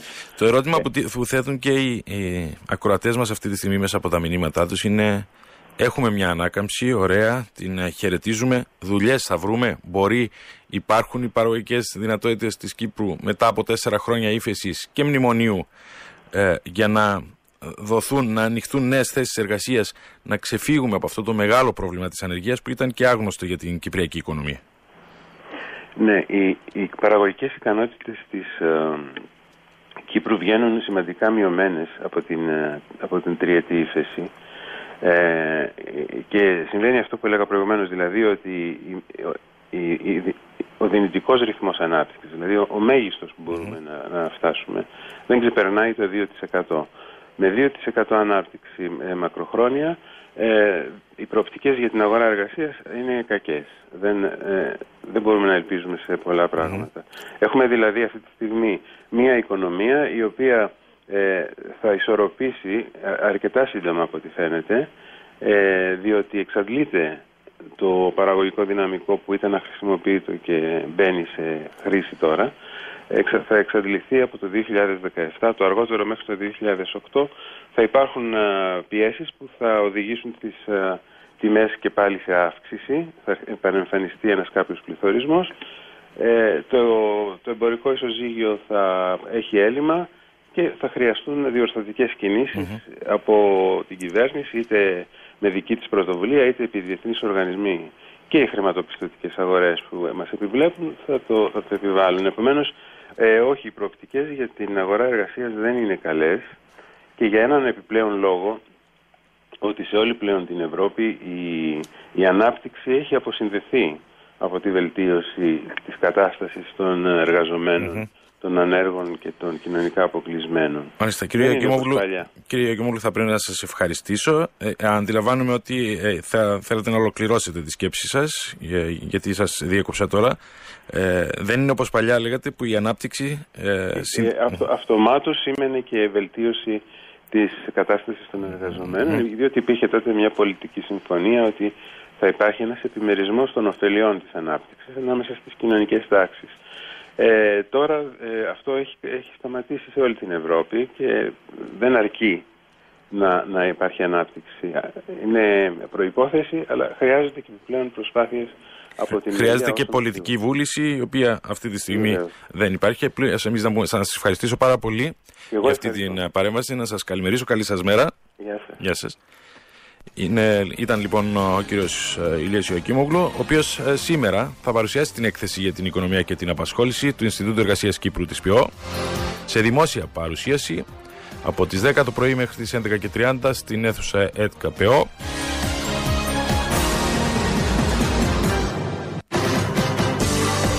Μια μεγάλη ε, εργασία, μεγάλη σε όγκο Θα είναι σημαντικό να δούμε σε λεπτομέρεια τα ευρήματα της ε, έκθεσης για την οικονομία και την απασχόληση του 2016. Σήμερα λοιπόν στις 10 η ώρα θα δοθεί στη δημοσιότητα. Εμείς είχαμε την χαρά και την ευκαιρία να ακούσουμε κάποια ε, σχόλια και κάποια από τα ευρήματα της έκθεσης. Και στην μπάλα Μία είναι η ομάδα Άστρα στους 92-8 και 105-3. Παίζει δυνατά. Καλημέρα και καλό δρόμο. Οδηγεί με ασφάλεια ο Όμιλος Πιλακούτα. Απόλυτη οδηγική εμπειρία με BMW. Η χαρά της οδήγησης με Mini. Αθλητικό παράθυρο. Πρωινή αθλητική ενημέρωση από τον Άστρα 92.8. Το αθλητικό παράθυρο χορηγεί η εταιρεία Γιαννάκης Ανδρέου Limited. Ήταν α, βραδιά Europa League.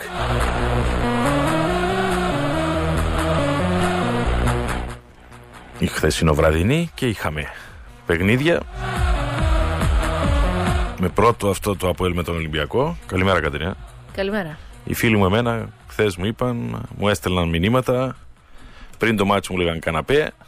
Μετά το μάτσο μου είπαν αρμάρκα. Δεν ξέρω τι εννοούν. Τι εννοούν τα αρμάρκα, τι σημαίνει αρμάρκα; Δεν ξέρω. Σημαίνει να κλειδωθώ μες στο ερμάρια, μην ακούω, με να- ούτε να βλέπω, ούτε να ακούω. Το ακούω συχνά από το Κίκαν τα απογεύματα. Ναι. Στην εκπομπή στο... στους ακροατές, στο όλα στον αέρα. Εκεί παίζει πο- πολλά η λέξη. Οι φίλοι μου πάντως οι αποελίστες μου έστελναν μήνυμα μες στα αρμάρκα. Άτε. Εντάξει, δεν με βόλευε λίγο. Έτσι Στο... παγωνία, εντάξει. Δεν με βόλευε η αλήθεια. Λέω, αλλά έκλεισα πόρτες, παράθυρα, φώτα, ούτε να ακούω, ήθελα ούτε να βλέπω. Εν πάση περιπτώσει, συγχαρητήρια στο Αποέλ. Με πανηγυρικό τρόπο λοιπόν το απόλυτα. Συγχαρητήρια τα έχουμε δώσει έτσι κι αλλιώς από την ε, προηγούμενη, από την πρω- πρώτη τελευταία αγωνιστική όταν ε, εξασφάλισε την ε, πρόκριση. Εχθές δεν είχε και τόσο άγχος το ΑΠΟΕΛ, ούτε βέβαια ο Ολυμπιακός. Ήταν ό,τι χειρότερο μπορούσε να μου συμβεί. Δεν το λέω και δεν έχω. Α μην με πούν πάλι προκλητικό. Απλώς παίζαν δύο ομάδες που έχουν. Και οι δύο ομάδες είναι οι ομάδες με τη λιγότερη συμπάθεια που μπορώ να δείξω σε αυτές τις δύο ομάδες. Να το πω ευγενικά. Α συνεχίσω; Βεβαίως. Λοιπόν, ε, έλεγα ότι με πανηγυρικό τρόπο το ΑΠΟΕΛ ολοκλήρωσε τις υποχρεώσεις του στη φάση των ομίλων του Europa League. Ε, μετά την πρόκριση ε, στις 32 της ε, διοργάνωσης, ε, χθες βράδυ ε, νίκησε με 2-0 τον Ολυμπιακό Πυραιός και τερμάτισε πρώτος στον όμιλο με 12 βαθμούς. Αυτό σίγουρα έχει και πολλά οικονομικά ε, ωφέλη. Άλλο ένα εκατομμύριο ε, εξασφάλισε το ΑΠΟΕΛ, 960.000 την ακρίβεια. Συν την νίκη, συν την πρόκριση τη Είναι, πρωτιά. είναι, είναι η νίκη και Μας η τα είπε πρόκριση. 100 φορές ο κύριος Πογιατζής χθες βράδυ τα μάθαμε. Ένα εκατομμύριο 460.000. Τον άκουσα εδώ, μας το είπε πολλές φορές. Ε, δεν είχαμε την ε, τύχη να απολαύσουμε όλοι ε, το ηχητικό Εντάξει. κομμάτι της ε, τηλεόρασης. Εμένα κάποιο πρόβλημα έχει η τηλεόραση μου. Δεν είχε Μακάρι να ηχό. έχει και δική μου, αλλά δεν είχε. Δεν είχε ηχό. Οπότε δεν α, είχα την ευκαιρία να ακούσω τον α, αγαπητό Ανδρέα ε, Κωνσταντίνε. Δηλαδή, αν λοιπόν, προσθέσουμε ότι είναι οι λιγότερο θα μου συμπαθεί πεις μετά ομάδες. ότι δεν μας φτάνει ο χρόνος. δύο Είναι και συμπαθές- Παρασκευή. Οι δύο λιγότερο συμπαθείς ομάδες με τον λιγότερο συμπαθή ε, παρουσιαστή εκφωνητή, σκέψου τι βράδυ περάσαμε. Το σκορ για το Αποέλ άνοιξε με αυτόν γκολ ο Ντακώστα. Το γκολ ήταν του Πιέρου. Όχι. Έτσι είπε Το- ο Πιέρος μετά το μάτσο. Το γκολ χρεώθηκε όμως στον Ντακώστα. Επίσημα. Ε, στο 19ο λεπτό, μετά από εξαιρετική προσπάθεια του Πιέρου Σωτηρίου, ε, μπορεί να το... Ναι, ε, όλοι έτσι είπαμε, αλλά και, στα, και η ΚΟΠ επίσημα ανακοίνωσε ότι ε, χρεώθηκε ως αυτό γκολ στο Ντακώστα, όπως και να έχει.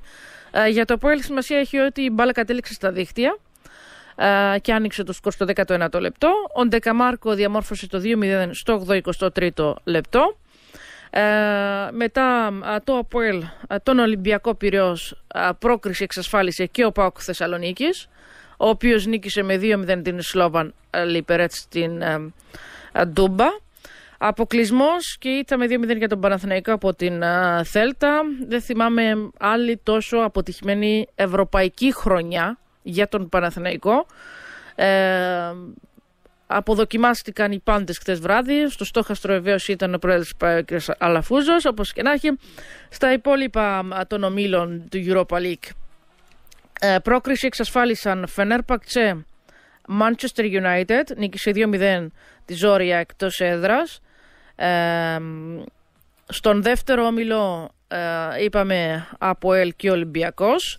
Στον τρίτο όμιλο ε, πρόκριση για τη Σεντετιέν και την Άντερλεκτ. Στον τέταρτο όμιλο, από τον τέταρτο όμιλο προκρίθηκαν Zenit Alkmaar. Από τον πέμπτο όμιλο ε, Ρώμα και η δικιά μας η ομάδα η Άστρα. Ε, τα κατάφερε τελικά η Άστρα ε, Τζουρτζιού, η ομάδα της Ρουμανίας. Ε, στον 7ο όμιλο Άγιαξ Το και όνομα είναι Θέλτα. που σου αρέσει δηλαδή η δικιά μας ομάδα. Γιατί νομίζω ότι αυτή η ομάδα απέκλεισε μια χρονιά την Ομόνοια και δεν μπορεί να είναι η δικιά μας ομάδα. Αν δεν κάνω λάθος. Ε, ναι, ναι, έχεις δίκιο. Έχω δίκιο. Εντάξει, δεν είναι- είναι η δικιά μας ομάδα. Ε, Δεν είναι η όταν... δικιά μας ομάδα. Κοίταξε, ε, είναι, εγώ είμαι πρώτα Άστρα και. Οκ, άσε, προχώρα. εντάξει. Λέ, πες τα, πες τα. Ε, ότι έχει αυτό το όνομα, ρε παιδί μου. Και έχει και μια αεροπορική εταιρεία και συχνά πυκνά διάφορες ομάδες στην. α, Τη χρησιμοποιούν. Τη Αυτή χρησιμοποιούν, την αεροπορική ναι. εταιρεία. Ε, πρέπει να είναι. Εντάξει. Πάμε παρακάτω γιατί μου στέλνουν μηνύματα και με ρωτούν για μεγάλο χρόνο, μικρό χρόνια. Τι είναι αυτό, τι εν... να σε ρωτήσω τι σημαίνει, δεν καταλαβαίνω. Και δεν είναι ώρα τώρα. Πάμε να δούμε τι έγινε με τις ομάδες, ποιες ομάδες έχουν προκριθεί.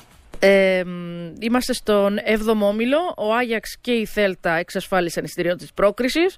Ε, μ, στον 8ο όμιλο, από τον 8ο όμιλο η Σακτάρ Ντόνεσκ και η Γάνδη. Α, στον, ε, είπαμε για τον ε, ΠΑΟΚ που πήρε την ε, πρόκριση τελικά. Ήρθαν όλα, έγιναν όλα για να α, πάρει το, το εισιτήριο της πρόκρισης ο ΠΑΟΚ μαζί με τη Φιωρεντίνα βεβαίως ενώ έγιναν όλα ήρθε και το αποτέλεσμα που ήθελε ο ΠΑΟΚ Θεσσαλονίκης νίκησε και ταυτόχρονα η Φιωρεντίνα επικράτησε τη Καραμπάχ εκτός έδρας και έτσι έδωσε στον ΠΑΟΚ το εισιτήριο της πρόκρισης.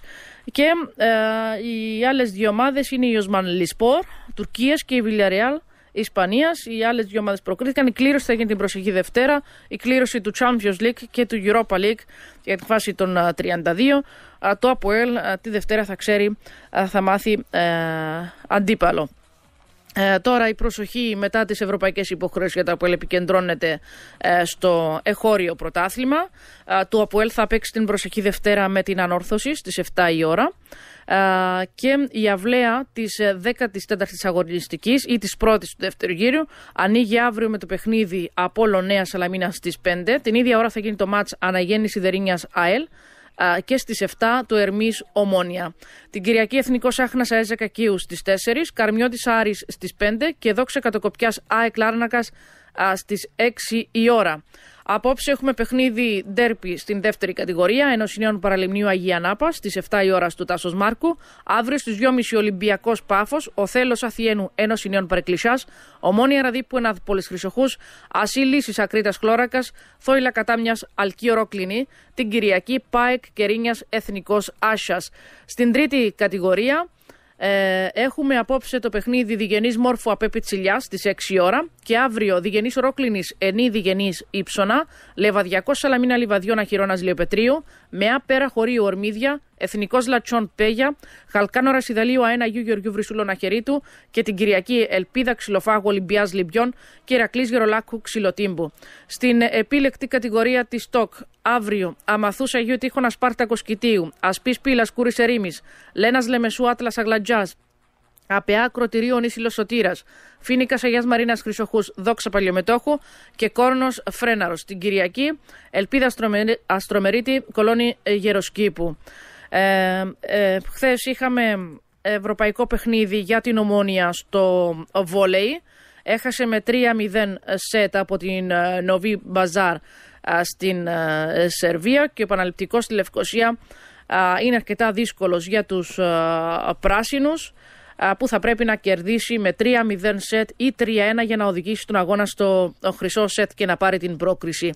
Με νέα ήττα 3-0 σετ α, ο Παφιακός γνώρισε τον αποκλεισμό ε, νέα ήττα από την Καλατά Σεράι και τα δύο παιχνίδια έγιναν στην Κωνσταντινούπολη. Ε, τώρα, ε, σε αυτά, αυτό που μ, είχαμε ανοίξει, μ, είχαμε σχολιάσει μάλλον χθες ε, το μεσημέρι ε, μετά την ε, δήλωση ε, του εκπροσώπου της Ομόνιας Ανδρέα Δημητρίου, την απάντηση της ε, ΚΟΠ ουσιαστικά. ε, ότι μ, ε, δεν παραβίαζαν τα όρια της επιτρεπτο, ε, επιτρεπόμενης ε, κριτικής και γι' αυτό δεν οδηγήθηκε ε, στον αθλητικό δικαστή, δεν παραπέμφθηκε καλύτερα στον αθλητικό κα- δικαστή ο εκπρόσωπος του ΑΠΟΕΛ Νεκτάριος ε, Πετεβίνος. Ε, και μ, ήρθε όπως είπα η απάντηση της ε, ΚΟΠ. Μετά ε, νέα απάντηση έδωσε η Ομόνια μέσω ε, Twitter. Εξέφρασαν ε, ε, τα, όνειρα, τα όρια είναι σχετικά της κριτικής, της περιοχής, της τελικής γραμμής, της πρόθεσης, του offside. Αυτά μόνο, της παρακμής απλώς δεν υπάρχουν. Ε, και το ΑΠΟΕΛ βεβαίως ε, αργά το βράδυ μετά την α, πρόκριση έδωσε και αυτό α, την, α, σχολίασε και αυτή την α, έδωσε απάντηση ουσιαστικά α, στην ομόνια ε, επίσης μέσω α, Twitter θα το βρω ακριβώς έτσι για να μην α, έχω Είπε περίπου ότι τα όρια- όρια δεν υπάρχουν στον αγωνιστικό τομέα για το ΑΠΟΕΛ, ότι προκρίθηκαν στους 32 και πάνε ακόμα. Δεν, δεν υπάρχουν όρια στον αγωνιστικό τομέα για το ΑΠΟΕΛ. Νομίζω ότι κάτι τέτοιο ήταν η απάντηση του ΑΠΟΕΛ. Ναι. Σε εκείνο το πνεύμα Ε, κινήθηκε. Εντάξει, τα όρια α, για αυτή την ομάδα είναι σχετικά, ε, λέει η ανακοίνωση του ΑΠΟΕΛ. Ε, Απαντώντας ουσιαστικά στο Twitter, τα όρια για αυτή την ομάδα είναι σχετικά, δεν περιορίζονται γιατί τα όνειρα γίνονται πραγματικότητα. Η Κύπρος μπορεί να νιώθει περήφανη, ανέφερε ε, ε, χαρακτηριστικά το ΑΠΟΕΛ. Λοιπόν, η πιθανή αντίπαλη του ΑΠΟΕΛ είναι η Manchester United, ε, ο ΠΑΟΚ, ε, η Θέλτα. Ε, θα δούμε. Μέχρι τη Δευτέρα θα ξέρουμε. Βιλιαρεάλ ίσως, θα δούμε. Να κάνω μια πρόβλεψη. Θέλεις τη Μάντσεστερ, Τον Μπάουκ. τον ΠΑΟΚ. Ναι. Έχω μια συμπάθεια εγώ στον ΠΑΟΚ λόγω Θεσσαλονίκης. Εγώ δεν έχω ιδιαίτερη συμπάθεια, απλώς πιστεύω ότι το πρωί θα κληρωθεί με τον Μπάουκ. Και τι, τον θεωρείς εύκολο δηλαδή τον Όχι, ΠΑΟΚ. δεν είπα ότι τον θεωρώ. Είπα, α, πιστεύω ότι το πρωί θα κληρωθεί με τον Μπάουκ. Μμ. Τι λες για την Μάντσεστερ έτσι να έχει και ένα άρωμα. Ξα, μας ξανάρθει ο Μουρίνιο στην Κύπρο. Εντάξει, θα δούμε. Εγώ Ξέρεις ότι δεν τα κατάφερε την προηγούμενη φορά που Μμμ. ήρθε. δύο φορές. Δύο φορές, ναι. Ναι. Μια φορά 3-3 με τον Τιμούρ, αν δεν κάνω Όταν λάθος. ήταν στην Ίντερ, σωστά. Ναι, με την Ίντερ. Και η δεύτερη, Ήμουν στο γήπεδο σε εκείνο το παιχνίδι. και εγώ ήμουν. Στο δεύτερο ήταν α, με την Chelsea και το Αποέλ. Και το Αποέλ. Ναι. 2-2. ή Πόσο είχε Ε, λήξει όχι, εκεί; εκείνο ήταν ε, εκτός έδρας, νομίζω. Ναι, το εκτός έδρας ήταν το. Μπάση Δεν περιπτώσει. θυμάμαι τώρα Ναι. ακριβώς τι. Επειδή δεν ήμουν στο γήπεδο σε μάτσο του Αποέλ. Ένα στο άλλο ίσω. Στο άλλο ήμουν. Ναι, στο άλλο ήμουν. Θυμάσαι ότι ο Μουρίνιο ήταν με τις παντόφλες στη διάσκεψη. Όχι, δεν πήγα στη διάσκεψη τύπου και έχασα αυτή την ε, λεπτομέρεια. Λοιπόν, όχι μετά το τέλος του αγώνα, α, πριν από τον αγώνα. Λοιπόν, ε, στις εφημερίδες, στα γρήγορα, πολύ γρήγορα, περιμένει αντίπαλο του Αποέλ γράφει Χαραυγή, ο κόσμος των Σπορ. Πλάνο νίκης από τον Τζον Κάρβερ ε, στην Ομόνοια, άλλη μια πρόκληση στην ΑΕΛ. Εντός έδρας αποστολές για Παναθηνικό και Ολυμπιακό στην Ευρωλίγκα, έκανε το καθήκον του ΠΑΟΚ. Α, Οι απουσίες δεν διαφοροποιούν το στόχο της νίκης στην- ε, στον Ερμή. Σε τρεις μήνες αναμένεται να είναι έτοιμος ο Γκιές στον Απόλλωνα. Αντίστροφη μέτρηση για το ΠΑΠ All Star Day στις 17 Δεκεμβρίου στην αίθουσα Ελευθερία. Ε, στην εφημερίδα Sport Day της αλήθειας, Simply the Best, ε, ο θρύλος είναι ένας, πέρασε πρώτος και καλύτερος στους 32, γράφει η εφημερίδα. Είμαι πολύ περήφανος, είπε ο Τόμας Κριστιανσεν. Ε, μεγάλη επιτυχία, έξτρα πριν για την πρωτιά, είπε ο κ. Πετρίδης. Το είπα ότι θα ήταν μακρινό ταξίδι ο Πιέρος Σωτηρίου. Στα Θεσσαλονεύτη θα μπορούσα περισσότερο και από 90 λεπτά, είπε χαρακτηριστικά. Α, στο γήπεδο του πολίτη, ε, ο θρύλος είναι ένας, με Σωτηρίου και Ντεκαμάρκο γράφει η εφημερίδα. Εγώ από, το, από την επίσημη σελίδα της ΚΟΠ λέει ότι το γκολ χρεώθηκε στον, ε, στον ε, Ντακώστα. Ε, εντάξει. Ε, ο Αποέλ στους 16 του- στους δυνατούς ε, και αυτή τη λεπτομέρεια δεν, την είπα- δεν το είπαμε τη Δευτέρα στην Ιόνη κλήρωση για τη φάση των 32 ε, στο πιστόφυλλο της εφημερίδας Πολίτης έχει μερία να αρκεί η κόμπρα. Σε επέμβαση υποβλήθηκε ο Γκέ και θα απουσιάσει για τρεις μήνες. Ήταν με 3-0 για την πεντοσφαιρική ομόνια. Η κορυφαίοι για το 2016, άσφαιρη με Ελλάδα για την δικαιωμάτων φούτσαλ, δεν παραβίαζαν τα όρια της επιτρεπόμενης κριτικής, είπε η ΚΟΠ. Ε, η απάντηση της ΚΟΠ στον Ανδρέα Δημητρίου και το tweet της Ομόνιας στην εφημερίδα Gold News. Respect. Όχι, είναι ο τίτλος, είναι η διαφημιστική... Α, είναι η... Χρησιμοποιεί την... ε, χρησιμοποίησε η Gold News σήμερα ε, την φωτεινή πινακίδα του Γάση Πι. Ε, όταν οι πινακίδες δίνουν τίτλο, τα πολλά λόγια είναι φτώχεια και είναι το respect. Sorry, αδέλφια, αλλά ο θρύλος της Κύπρου είναι καλύτερος απέναντι το γαλαζοκίτρινο πανηγύρι για τα νέα επιτεύγματα των πρωταθλητών. Α, πανάξια πρωτιά για το Αποέλ που κατέβαλε τον Ολυμπιακό Πυρό με 2-0. Αυτά περισσότερα θα πούμε ε, το μεσημέρι. Ε, πριν ε, κλείσουμε, ε, άγωνη φιλική ισοπαλία. Θέλει νίκη στο γειτονικό ντερπι η Αγία Νάπα με το παραλίμνη. Η αποκάλυψη του μ, Λουκάκου. Ε, και Μπλαουγκράνα μέχρι το 2022 ο Σουάρες. Κατερίνα, σε ευχαριστούμε και καλή σου μέρα. Επίσης.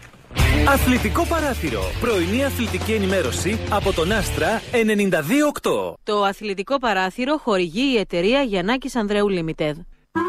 Αμάνα μου έφαγα κλάπαν.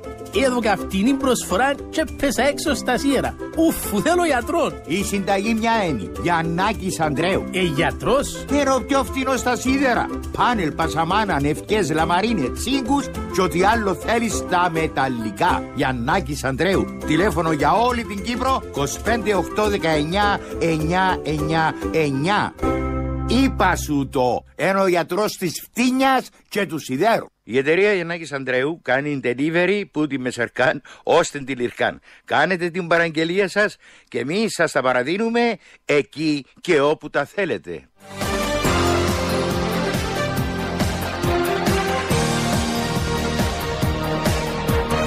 Μέσα στα όσα συμβαίνουν α, γύρω μας, στις εξελίξεις ή τις μη εξελίξεις κάθε μέρα στο εσωτερικό μας μέτωπο,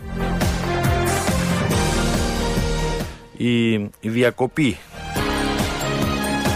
και η συζήτηση με την Κατερίνα για τα αθλητικά θέματα είναι πάντα ένα ευχάριστο διάλειμμα, ένα αθλητικό παράθυρο.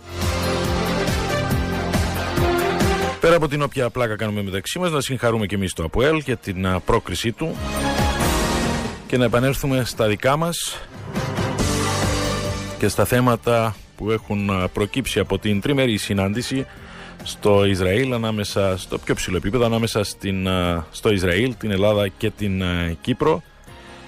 Έχουμε στην τηλεφωνική μας γραμμή τον κυβερνητικό εκπρόσωπο. Κύριε Χριστοδουλίδη, καλή σας μέρα.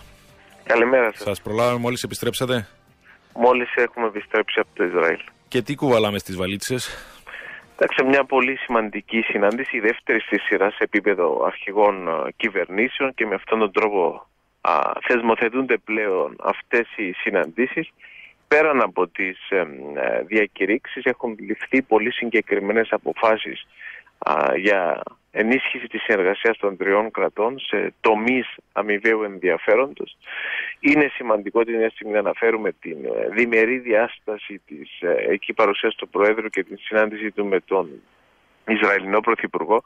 Υπάρχουν αρκετά θέματα διμερούς ενδιαφέροντος που α, βρίσκονται σε εξέλιξη συζητήσεις και αναμένεται να ολοκληρωθούν με τον νέο χρόνο έτσι ώστε να υπογραφούν και σχετικές συμφωνίες ανάμεσα α, στα δύο κράτη και γενικότερα να εκφράσω εκ μέρους του Πρόεδρου την απόλυτη ικανοποίηση για τα αποτελέσματα αυτής της α, συνάντησης. Μμμ.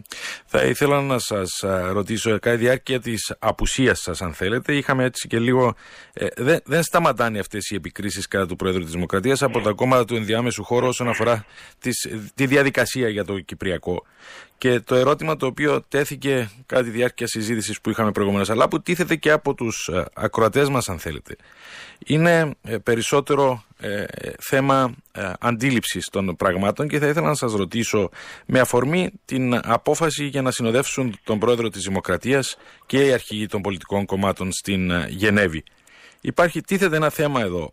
Όταν κάποιος δεδηλωμένα και επίσημα δηλώνει ότι εγώ με το επιθυμητό σας αποτέλεσμα σε αυτές τις διαπραγματεύσεις που είναι η λύση της Ζωνικής Δικοινοτικής Ομοσπονδίας διαφωνώ πώς μπορεί επικοδομητικά να βοηθήσει τον πρόεδρο της Δημοκρατίας να φτάσει σε αυτό το αποτέλεσμα; Ο πρόεδρος της Δημοκρατίας απευθύνει πρόσκληση σε όλα τα μέλη του Εθνικού Συμβουλίου. Δεν καθορίζει ο πρόεδρος της Δημοκρατίας τις θέσεις των μελών του Εθνικού Συμβουλίου.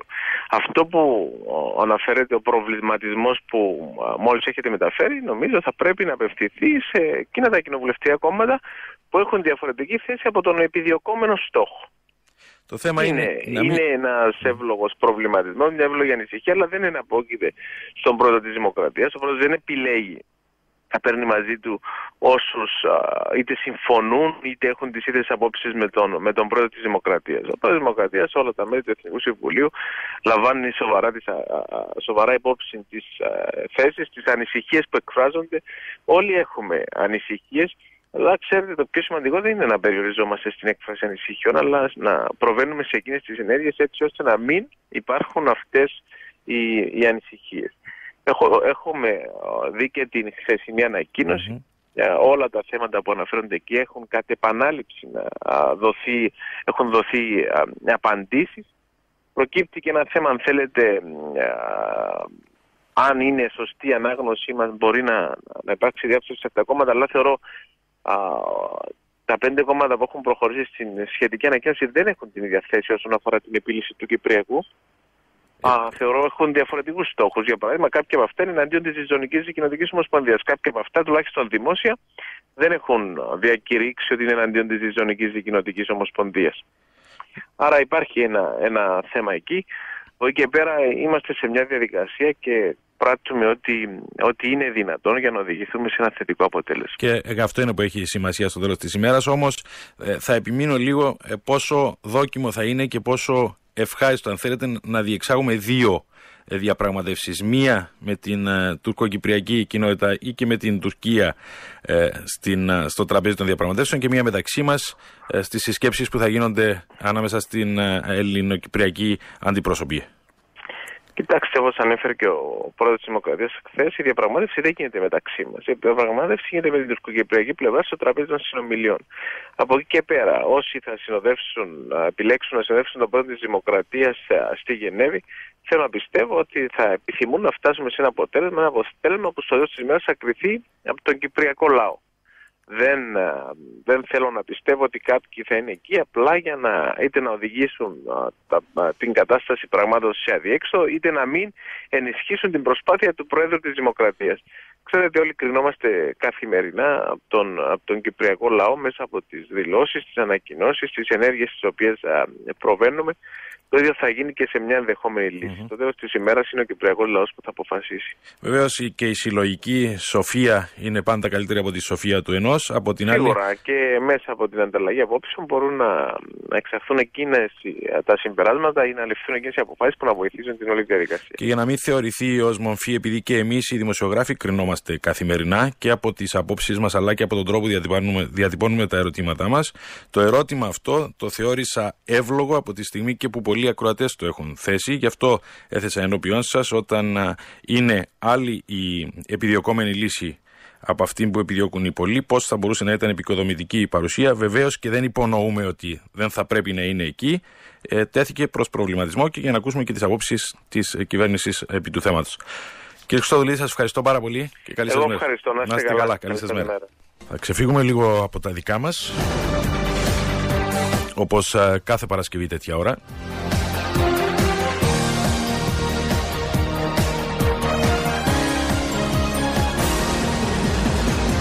κάθε Παρασκευή τέτοια ώρα. Ξεφεύγουμε λίγο από τα στενά δικά μας όρια. Βγαίνουμε λίγο στην ευρύτερη γειτονιά μας που είναι η Ευρωπαϊκή Ένωση. Εσύ και η Ευρώπη.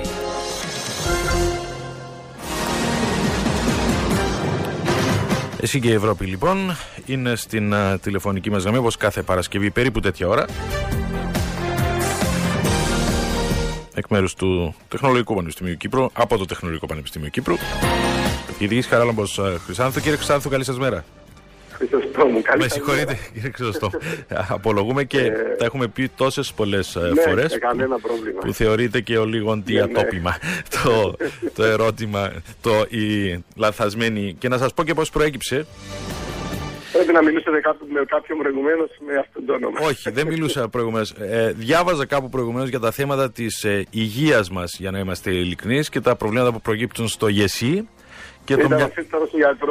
και το μυαλό μου πήγε αμέσως το, το μυαλό μου πήγε αμέσως και εδώ πάλι λάθος το Χρήσανθο Γεωργίου είναι ο φίλος ο, ο και εκεί είχαμε ε, κολλήσει εν πάση περιπτώσει τι έχουμε για σήμερα; Έχουμε δύο πολύ ενδιαφέρουσες ε, προκηρύξεις. Η πρώτη προκήρυξη αφορά μόνιμες θέσεις εργασίας στην Ευρωπαϊκή Ένωση για εμπειρογνώμονες στην πληροφορική. Η Ευρωπαϊκή Υπηρεσία Επιλογής Προσωπικού, η γνωστή ΕΠΣΟ, έχει προκηρύξει αυτό τον διαγωνισμό με σκοπό να γίνουν γραπτές εξετάσεις για να επιλεγούν ψυχιούχοι της πληροφορικής ε, σε μια σειρά από θέσεις εργασίας που αφορούν τα αντικείμενα της πληροφορικής. Συνολικά ξεπερνούν τις 200 θέσεις εργασίας, ε, οι οποίες επιμερίζονται ε, στους τομείς της ανάλυσης δεδομένων, στους ψηφιακούς χώρους εργασίας, στον προγραμματισμό επιχειρήσεων, στην ασφάλεια της πληροφορικής αλλά και την υποδομή πληροφορικών συστημάτων. Δικαίωμα υποβολής αιτήσεων τι έχουν σε αυτές Ναι, δικαίωμα υποβολής αιτήσεων ε, ε, πρέπει να υπάρξουν τα εξής κριτήρια. Το πρώτο, πρέπει οι υποψήφοι να είναι πολίτες χώρα μέλου της Ευρωπαϊκής Ένωσης. Άρα οι Κύπροι πολίτες ε, είναι δικαιούχοι. Το δεύτερο ε, είναι το επίπεδο στην αγγλική και στη, ή στη γαλλική γλώσσα. Πρέπει να υπάρχει ε, καλή γνώση αγγλικής ή ε, και ή γαλλικής γλώσσας, όχι και τις δυο Ε, και ε, θα πρέπει να είναι ε, απόφοιτοι τμήματων πληροφορικής ή αντίστοιχων τμήματων ε, που έχουν να κάνουν ακριβώς με την πληροφορική, την τεχνολογία, ε, τη PPA και ούτω καθεξής. Να ρωτήσω, είναι τυχαίο το γεγονός ότι την προηγούμενη φορά που είχαμε μιλήσει, νομίζω ήταν πριν από δύο Παρασκευές, όταν έτυχε να είμαστε Ναι. και πάλι μαζί, υπήρχαν, είχαν, η προκήρυξη ήταν για υποτροφίες για φοιτητές με ε, κινητικά προβλήματα, αν δεν κάνω λάθος, ή με αναπηρίες γενικότερα, ε, Πολύ τη σωστά, της ναι. πληροφορικής και πάλι από εταιρείες κολοσσούς ε, στην, ε, στην πληροφορική. Υπάρχει έτσι μια τάση ε, στους, ε, στον τομέα της ε, πληροφορικής, υπάρχει ζήτηση περισσότερη σήμερα, γιατί είναι καλό να τα λέμε και αυτά στους Ναι, νέους μας. υπάρχει αυτό το διάστημα αυτή η τάση, πολύ σωστά το έχετε αναφέρει και υπάρχουν και ανάγκες εργασιακές. Εδώ είναι το, α, το κλειδί. Βλέπουμε εδώ είναι πέραν των 200 συνολικά α, θέσεων εργασίας στην ε, Ευρωπαϊκή Ένωση για εμπειρογνώμονες ε, της πληροφορικής. Να πούμε ε, ακόμα δύο-τρεις χρήσιμες πληροφορίες. Ε, η αμοιβή σε περίπτωση επιλογής των ατόμων α, που θα πάρουν τις θέσεις ανέρχεται στις 5.600 ευρώ α, μεικτός μισθός και η τοποθέτηση, η εργασιακή, η αστική ε, θα είναι στις Βρυξέλλες και στο Λουξεμβούργο. Ε, να πούμε ότι η θεσμία υποβολής των αιτήσεων είναι η 10η Ιανουαρίου και μια χρήσιμη επίσης πληροφορία, την έχουμε αναφέρει και στο παρελθόν, Τη διαδικασία αυτή της ΕΠΣΟ οι εξετάσεις γίνονται με ηλεκτρονικό τρόπο σε όλες τις χώρες. Δηλαδή δεν χρειάζεται κάποιος να μεταβεί στις Βρυξέλλες για να κάτσει, α, για να παρακαθίσει την εξέταση. Και ε, σε περίπτωση επιλογής στο επόμενο στάδιο που είναι οι συνεντεύξεις, θα πρέπει να μεταβεί στις Βρυξέλλες και τα έξοδα μετάβασης και διαμονής καλύπτονται από την ε, Ευρωπαϊκή Ένωση. Αυτό είναι το πρώτο θέμα. Το δεύτερο θέμα είναι επίσης πολύ ενδιαφέρον και αφορά δάνεια για μεταπτυχιακές σπουδές ε, που προσφέρονται από το πρόγραμμα Erasmus Plus. Ε, ως γνωστό, το πρόγραμμα αυτό έχει διευρυνθεί στην νέα περίοδο μέχρι το 2020 και καλύπτει ε, και ε, τα δάνεια που προσφέρονται ε, σε φοιτητές. Να πούμε ότι δεν χρειάζονται εγγύησεις ούτε από τους φοιτητές ούτε από τους γονείς τους. Ε, υπάρχει πολύ χαμηλό ευνοϊκό επιτόκιο, καλύτερο από αυτό που υπάρχει στην αγορά αυτή τη στιγμή για την παραχώρηση των δανείων αυτών και οι όροι αποπληρωμής είναι επίσης ευνοϊκοί. Τους δίνουν- ε, υπάρχει περιθώριο μέχρι και δύο χρόνια για εξέβρεση εργα... εργασίας προτού αρχίσουν την αποπληρωμή του δανείου. Και μιλάμε για μεταπτυχιακά προγράμματα μόνο; Μιλούμε για μεταπτυχιακά προγράμματα. Αυτό το συγκεκριμένο σχέδιο αναφέρεται σε μεταπτυχιακά προγράμματα. Και ε, κάτι επίσης σημαντικό είναι ότι ε, πέραν από τις ε, χώρες ε, της Ευρωπαϊκής Ένωσης, επειδή υπήρξε ένα ζήτημα λόγω του Brexit στη Βρετανία, αυτή τη στιγμή το πρόγραμμα αυτό καλύπτει και τη Βρετανία. Είναι πολύ σημαντικό βεβαίως, ναι. Ναι, γιατί οι πάρα πολλοί Κύπροι φοιτητές προσανατολίζονται για σπουδές μεταπτυχιακές στη Μεγάλη Βρετανία. Χαράμπε, σε Ε, ευχαριστώ. Ναι, αν υπάρχει Ναι, κάτι άλλο. τελευταία πληροφόρηση να πούμε ότι για μονοετή προγράμματα μεταπτυχιακών σπουδών είναι 12.000 ευρώ το δάνειο, ενώ για διετή ε, μπορεί να φτάσει μέχρι τις 18.000. Μάλιστα. Χαράμπε, Χρυσόστομο, σε ευχαριστούμε πάρα πολύ και Να είστε καλή σου καλά, μέρα. καλή Καλημέρα. συνέχεια. Γεια. Άστρα στους 92,8 και 105,3. Παίζει δυνατά.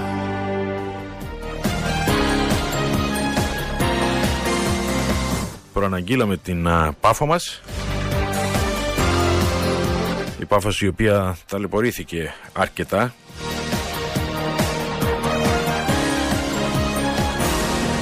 Όχι απλά ταλαιπωρήθηκε, ήταν ε, η πόλη της οποίας εκλελεγμένος δήμαρχος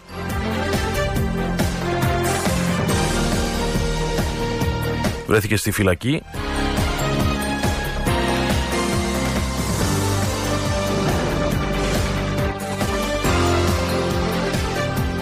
Τα είχαμε και αυτά.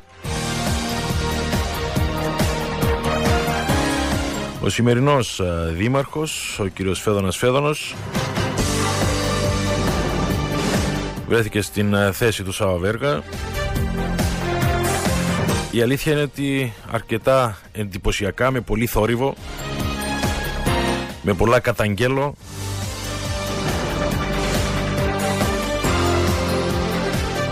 μπήκε μέσα και έδειχνε ότι θα τα σαρώσει όλα.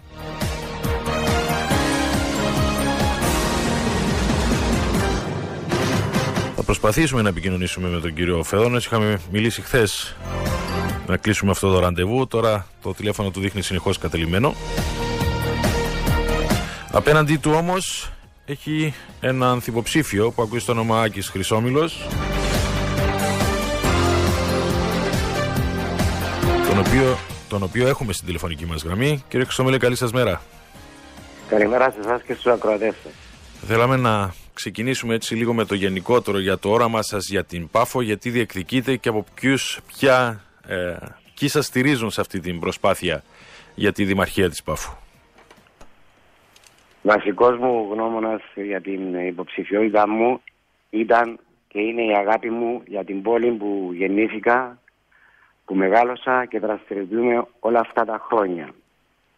Η Πάφος σήμερα βρίσκεται σε ένα σταυροδρόμι μεγάλων προκλήσεων και ευκαιριών αλλά αντιμετωπίζει και σοβαρά προβλήματα. Είναι η ώρα που η Πάφος χρειάζεται μια ε, ηγεσία με όραμα ευθύνης, με ικανότητα σύνθεσης και αξιοποίησης ιδεών και ανθρώπων, με ικανότητα να λειτουργεί συλλογικά, με ανθρώπινη προσέγγιση, με δημοκρατικό διάλογο, με συνένεση, με συναντήληψη, ε, μακριά από πολιτικές σκοπιμότητες, οικονομικά συμφέροντα, αυταρχικές συμπεριφορές και λαϊκισμούς. Είναι αλήθεια ότι η Πάφος υπέφερε περισσότερο από όλους ε, τα τελευταία χρόνια, ιδιαίτερα από αυτά τα οικονομικά συμφέροντα και τα ιδιωτελή συμφέροντα και είναι δύσκολο να επουλωθούν κάποιες ε, πληγές. Ωστόσο, ε, υπήρξε και έτσι μια έντονη αντιπαράθεση, αν θέλετε, τις τελευταίες μέρες ή και ώρες με τον ανθυποψήφιο σας, τον νυν Δήμαρχο, που αφορά για μια ανακοίνωση Ζητήσατε εσείς από τον κύριο Φεδόνος να δώσει οδηγίες στην υπηρεσία για να δημοσιοποιηθούν υποθέσεις που έχουν αποσυρθεί από τα δικαστήρια. Και η απάντηση που πήρατε, αν δεν κάνω λάθος, ήταν ότι μπορείτε να πάτε στο πρωτοκολλητήριο και να δείτε αν έχουν αποσυρθεί κάποιες ε, υποθέσεις. Για ποιες υποθέσεις μιλάτε, κύριε Χρυσόμη; Τι αφορούν ε, αυτές οι υποθέσεις και έχουν αποσυρθεί από τα δικαστήρια; Αρχικά να πω για τα σκάνδαλα τα οποία έχετε αναφέρει. Τα σκάνδαλα δεν είναι φαινόμενο που εμφανίστηκε αποκλειστικά στην Πάφο. Βεβαίως και όχι.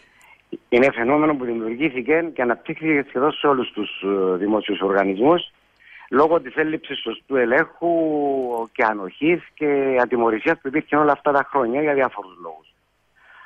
Αυτό που χρειάζεται σήμερα είναι να ξανακερδίσουμε τους πολίτες. Και για να τους ξανακερδίσουμε χρειάζεται συνέπεια σε λόγια και, προ... και πράξεις.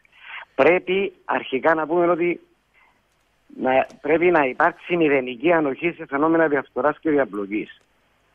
Να υπάρχει διαφάνεια, λογοδοσία στους πολίτες για τα έργα και τα οικονομικά του Δήμου, να υπάρχει πλήρης εφαρμογή της, ε, της νομοθεσίας, να υπάρχει πλήρης ε, προσαρμογής στις υποδείξεις της ελεκτικής υπηρεσίας και κυρίως να υπάρχει αναβάθμιση της υπηρεσίας εσωτερικού ελέγχου του Δήμου. Και θα έλεγα ότι η υπηρεσία αυτή εσωτερικού ελέγχου θα πρέπει να μην υπάγεται όπως συμβαίνει σήμερα απευθείας στο Δήμαρχο, αλλά να υπάγεται σε άλλα κλιμάκια πιο ψηλά στο Υπουργό Εσωτερικών, στο Υπουργείο Οικονομικών πρέπει να βρουν κάποια φόρμουλα ώστε να μην υπάρχει αυτή η εξάρτηση. Γιατί το να ελέγχεις το μάστρο σου και το λέω όσο πιο ε, λαϊκά μπορώ, ε, δεν είναι πάντα η πιο εύκολη ε, δουλειά η οποία μπορείς να κάνεις. Και ο μάστρος είναι ελεγχόμενος και ο δήμαρχος, ε, θέλω να πω, είναι ελεγχόμενος. Άρα θα μπορούσε αυτή η υπηρεσία να, ήταν, να, να υπάγεται κάπου αλλού, εν πάση περιπτώσει. Ναι. Για το θέμα της απόσυρσης των υποθέσεων. Ε, η, ο κύριος Φέδωνα θα αποκρύψει την αλήθεια. Ενώ έδωσε οδηγίες ο ίδιος να μην κοινοποιούνται επιστολές προς τους ε, δημοτικούς συμβουλού, αναφέρεται σε ήθεν παράληψη του αρχείου του Δήμου. Ε, για να λάψει η αλήθεια, καλούμε τον κύριο Φέδωνα άμεσα να δημοσιοποιήσει όλες τις υποθέσεις, τουλάχιστον του τελευταίου τριμήνου. Που έχουν αποσυρθεί από το δικαστήριο. Τι αφορούν αυτές οι υποθέσεις, δηλαδή; Είναι... Και αφορούν και αλλαγές στο κατηγορητήριο, διαγραφές ατόμων ή εταιρεία από το κατηγορητήριο. Αλλά αντιλαμβάνεστε, δεν δεν θα μπορώ από, τον, από τώρα από Όχι, όχι, αέρα δεν να δε, πω- δεν να ζητώ αναφέρω ονόματα. ονόματα. ή- Όχι, δεν ζητώ ονόματα. Απλώς Υποθέσεις. είναι υποθέσεις που αφορούν πολεοδομικές άδειες, είναι υποθέσεις που αφορούν τι; Είναι διάφορες υποθέσεις που αφορούν και άδειες και πολεμικέ άδειες και Μάλιστα. διάφορες παρανομίες. Μάλιστα. Και εσείς λέτε ότι κάποιες. Και πρέπει, να, και πρέπει να σας πω επίσης ότι ε, είναι ωραία να λέγουμε ότι υπάρχει πρόσβαση, αλλά ε, το αντίθετο ε, υπάρχει άλλωστε και επιστολή δημοτικών συμβούλων σε μέσα κοινωνικής δικτύωσης και σε αναρτήσεις οι οποίοι επώνυμα ε, και θα πω το όνομα του κυρίου Βεϊπίδη Λοϊζίδη, του Δημοτικού Συμβουλού, ο οποίος ε, μεταξύ άλλων καταγγέλει ο Δήμαρχος Μπάφου ότι συνειδητά εδώ και αρκετών καιρών κρατά τους Δημοτικούς Συμβούλους στο σκοτάδι και παρά τις προσπάθειες του να έχει πρόσβαση και να πάρει κάποια έγγραφα ή να ε, μπορέσει να βρει κάποιες πληροφορίες, βρήκε πόρτες κλειστές από την υπηρεσία με την απάντηση ότι πρέπει να υπάρχει γραπτή άδεια από τον Δήμαρχο για να μπορεί να του δώσει πληροφορίες. Ε, Νομίζω ότι αυτά τα πράγματα δεν μπορούν να συμβαίνουν σε μια ε, δημοκρατία. Όπως αντιλαμβάνεστε. Είναι φανερό ότι θα πρέπει ο κύριος Φέδωνος να απαντήσει. Εξακολουθεί το τηλέφωνο του να δείχνει κρατημένο, να το αναφέρουμε αυτό, ότι ε, εξακολουθεί να είναι απασχολημένος και δεν μπορούμε να επικοινωνήσουμε μαζί του, για να, μην, για να μην δοθεί η εντύπωση ότι δεν επιδιώκουμε τον αντίλογο και ότι μιλάτε μόνος σας. Κύριε Χρυσόμηλε, γι' αυτό το αναφέρω συνεχώς. Εγώ δεν έχω Ναι. κανένα πρόβλημα. Ε, Επίσης ένα άλλο θέμα το οποίο θα πρέπει να πω και το οποίο έχει σχέση πάλι με αυτά τα πράγματα είναι η δημοσιοποίηση της έκθεσης του Γενικού Ελεκτή την οποία ε, σκόπιμα αποκρύβεται για μέρες ο κύριος Φέδωνος από τα μέλη του Δημοτικού Συμβουλίου και τους Δημοτές και η οποία μας επιβεβαιώνει πλήρως αυτά που λέγαμε προηγουμένως. Ότι ο κύριος Φέδωνας μέσα σε 20 μήνες κατάφερε μόνο από τη διαδικασία προσφοροδότησης των έργων να επιφέρει ζημιά στο Δήμο τουλάχιστον ενός εκατομμυρίου ευρώ. Διότι παρά τις προειδοποιήσεις, όπως αναφέρει ο Γενικός Ελεκτής αυτά τα οποία λέω, δεν είναι δικά μου λόγια, και τις υποδείξεις του, επιβλήθηκαν κριτήρια συμμετοχής στα έγγραφα των προσφορών που περιόριζαν τον α, αριθμό των προσφοροδοτών. Και α- με αποτέλεσμα, όπως αναφέρει, να, στην έκθεση, η απουσία υγιούς ανταγωνισμού και υπερθέωση των έργων. Για να καταλάβετε, θα αναφέρω ακριβώς τα ποσά τα οποία αναφέρει ο Γενικός Ελεκτής για τα έργα. Για το εμπορικό κέντρο και την πλατεία Κέννετι υπήρχε υπερχρέωση 326.917 ευρώ. Για την πλατεία Μουτάλου υπήρχε υπερχρέωση 311.970 ευρώ. Για τη δημοτική αγορά υπήρχε υπερχρέωση 189.000 ευρώ. Και για το Μαρκίδιο Θέατρο υπήρχε υπερχρέωση 152.414 ευρώ. Κύριε Χρυσόμηλε, αντιλαμβάνεστε ότι ε, από τη στιγμή που δεν υπάρχει αντίλογος και δεν έχω ο- εγώ κανένα στοιχείο ως δημοσιογράφος το οποίο να αντικρούσω τα στοιχεία. Δεν έχω και κανένα λόγο να αμφισβητήσω τα στοιχεία τα οποία μας δίνετε. Εν Είναι πάση έκθεση περιπτώσει. του Βεβαίως, Γενικού ναι, Ελεκτή αυτή που εν σας πάση, λέω, εν πάση- κύριε- εν πάση περιπτώσει. Αντιλαμβάνομαι ότι από τη στιγμή που δεν υπάρχει αντίλογος, δεν μπορώ ούτε να αμφισβητήσω αυτά που λέτε. Από την άλλη, θα ήθελα, αν είναι δυνατόν, κλείνοντας αυτή τη συζήτηση, να, να ρωτήσω το αυτονόητο. Γιατί να επιλέξει κάποιος εσάς για τη δημαρχία της πόλης της Πάφου; Ναι. Ε, η... σ- Στόχος μας είναι να μετατρέψουμε την Πάφο σε μια σύγχρονη ευρωπαϊκή πόλη αντάξια της ιστορίας της. Εμείς θέλουμε να ξαναφέρουμε το χαμόγελο στους, δομ- στους δημότες, δημιουργώντας συνθήκες ανάπτυξης και ευημερίας. Να εφαρμόσουμε μια ε, νέα κοινωνική πολιτική με στόχο τη στήριξη των ευάλωτων ομάδων του πληθυσμού, να στηρίξουμε την οικονομία την τοπική με στόχο την ανάκαψη και τη δημιουργία θέσεων εργασίας, να στηρίξουμε τους νέους μας, οι οποίοι, οι οποίοι είναι και η ελπίδα για το μέλλον, να βοηθήσουμε στη σωστή ολοκλήρωση των υποεκτελέσεων έργο- έργων και να προωθήσουμε νέα έργα τόσο μεγάλα όσο και μικρά που δεν θα είναι έργα μόνο βιτρίνας. Μάλιστα. Να δημιουργήσουμε νέα σχέση συνεργασία με τους οργανωμένους φορείς της πόλης και τους ίδιους τους πολίτες. Και κυρίως θα πρέπει να πούμε ότι μια άμεση προτεραιότητα είναι να εφαρμόσουμε ένα νέο όραμα για τον πολιτισμό, στηρίζοντας ολόπλευρα και με κάθε δυνατόν τρόπο το Πάφος 2017 ώστε να έχει μια επιτυχή λειτουργία η Πάφος σαν πολιτιστική πρωτεύουσα της Μάλιστα. Ευρώπης Κύριε για το Ξομολέ, 2017. σας ευχαριστώ πάρα πολύ για αυτή την συμμετοχή στην εκπομπή. Να σας καλημερίσω, σας ευχηθώ καλή επιτυχία. Να είστε καλά και καλή σας μέρα. Έχουμε τελικά στην γραμμή τον α, Δήμαρχο Πάφου. Κύριε Φεδόνος, καλή σας μέρα. Κύριε Φεδόνος, Καλή σας μέρα, καλημέρα στους uh, ακροατές σας. έστω, έστω και καθυστερημένα, έστω και την Ιστάτη. Ο λόγος, Ναι. ο λόγος είναι ότι μιλούσα σε άλλο Ναι, ναι, είμαι, ραδιόφωνο είμαι, και σίγου- απολογούμε. είμαι σίγουρος ότι αυτό συμβαίνει. Είναι ένα φαινόμενο το οποίο μας δεν συμβαίνει. είχα πρόθεση να αποφύγω τον διάλογο ακόμη και σε τηλεφωνικό debate με τον συνυποψήφιό μου. Δεν υπάρχει κανένα θέμα. Το θέμα είναι να μπορέσουμε να δώσουμε, να, να έχουμε την ευκαιρία και εμείς. Γιατί αντιλαμβάνεστε, όταν μιλάει ένας εκ των δύο σας, ε, δεν μπορεί να υπάρξει αντίλογος και δεν μπορεί. και δεν μπορεί βεβαίως. Το λέω αυτό γιατί έχουμε προσκληθεί και για τηλεοπτικά debate αλλά και ραδιοφωνικά. Είμαι σίγουρος ότι θα έχετε την ευκαιρία. Ναι. Δυστυχώς ο συνυποψήφιο μου δεν έχει ανταποκριθεί σε αυτά τα debate, αρνούμενος. Πράγμα το οποίο νομίζω είναι μόνος στο Δήμο της Πάφου συμβαίνει αυτό το πράγμα. Εν πάση περιπτώσει, δεν θα, το, δεν θα το σχολιάσω από τη στιγμή που και εσείς την ίδια στιγμή ήσασταν απασχολημένος. Εγώ εκείνο που θέλω να ρωτήσω, γιατί.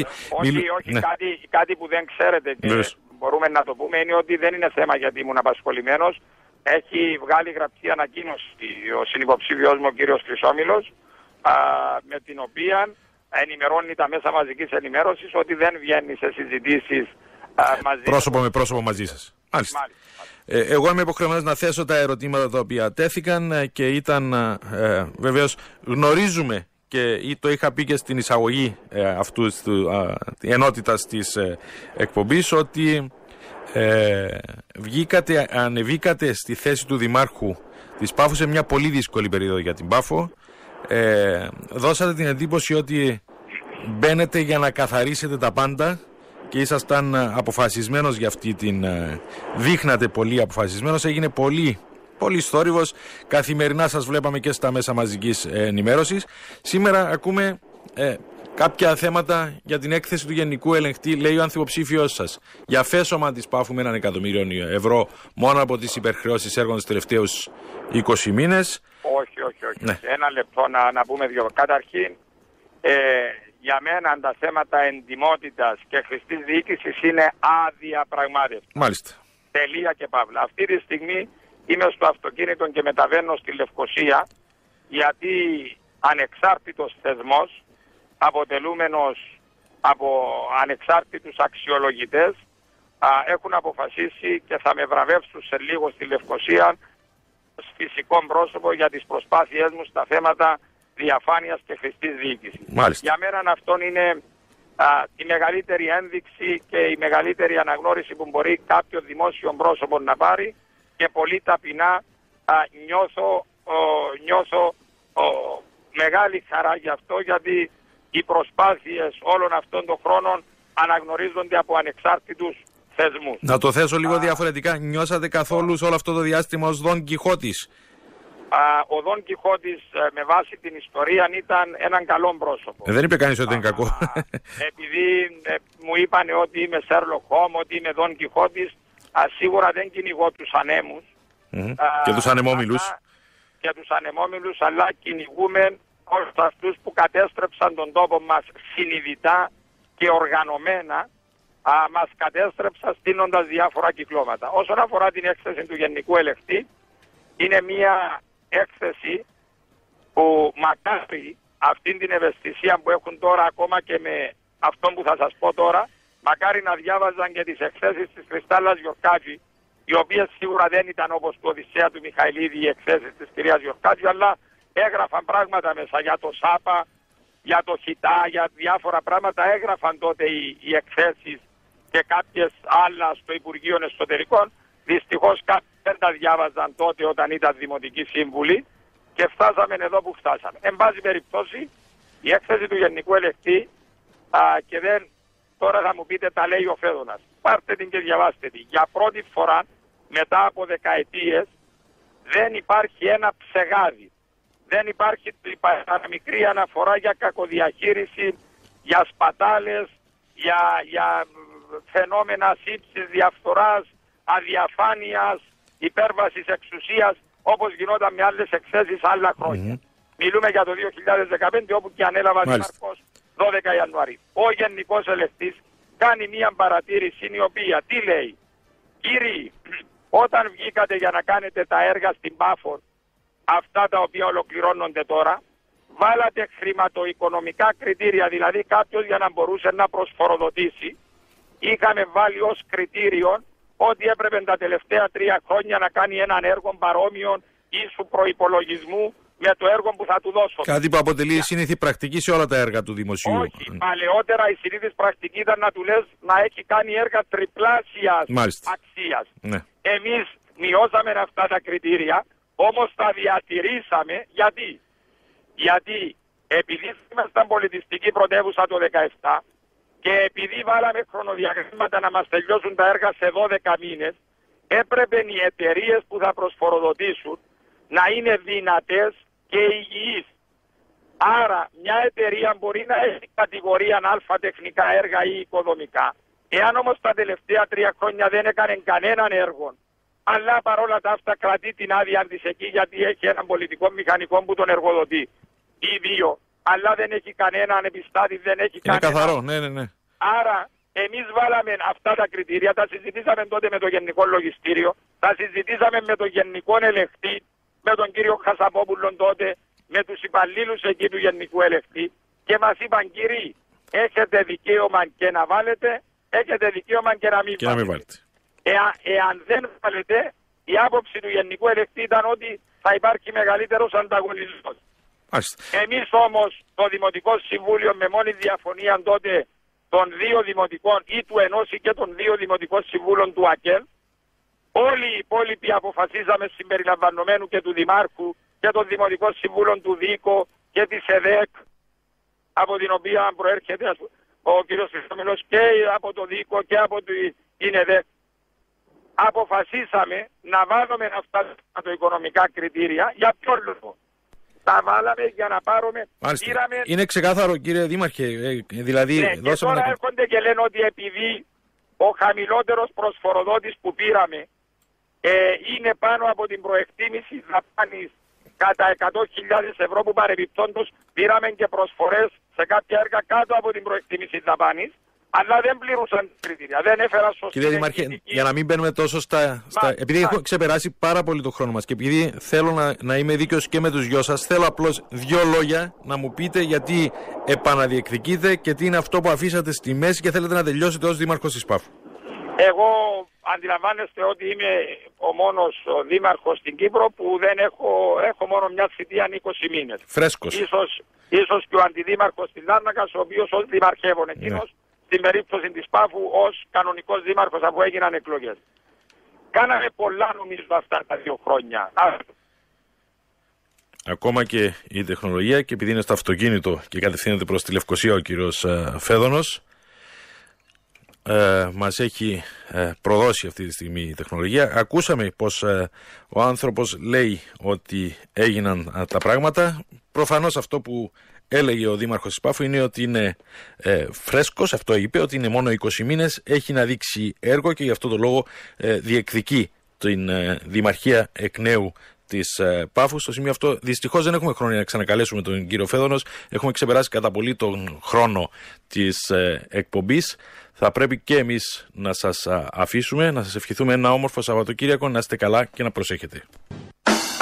Μουσικά, ενημερωτικά, εναλλακτικά. Άστρα στους 92,8 και 105,3. Παίζει δυνατά.